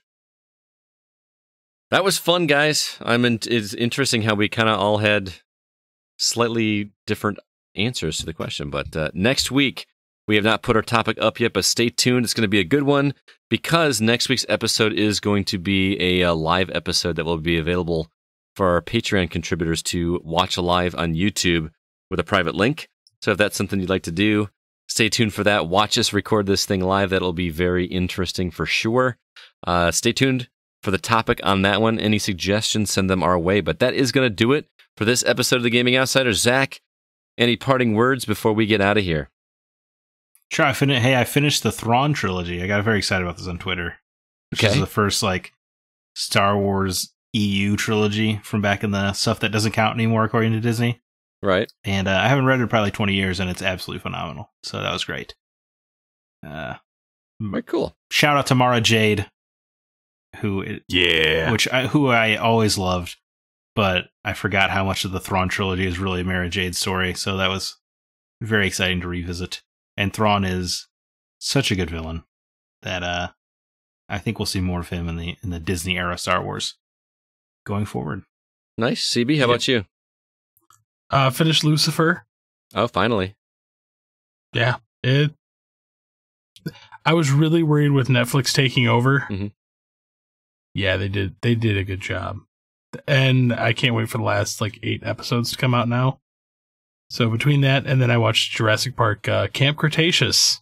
Oh, really? I I I'm actually excited about the show. I didn't know it was half out. bad. Yeah, it's already out. Huh. Already watched the entire se- season. I know Spielberg insisted they pulled no punches when it came to the killing of characters. So that's cool. Nice. Yeah. As for me, I've got a weird recommendation. It's not a movie or comic or game related, but uh, I'm not endorsed by this company whatsoever. But I discovered, gonna laugh at me, guys, but I discovered a winery uh, just north of us in Milton, Wisconsin.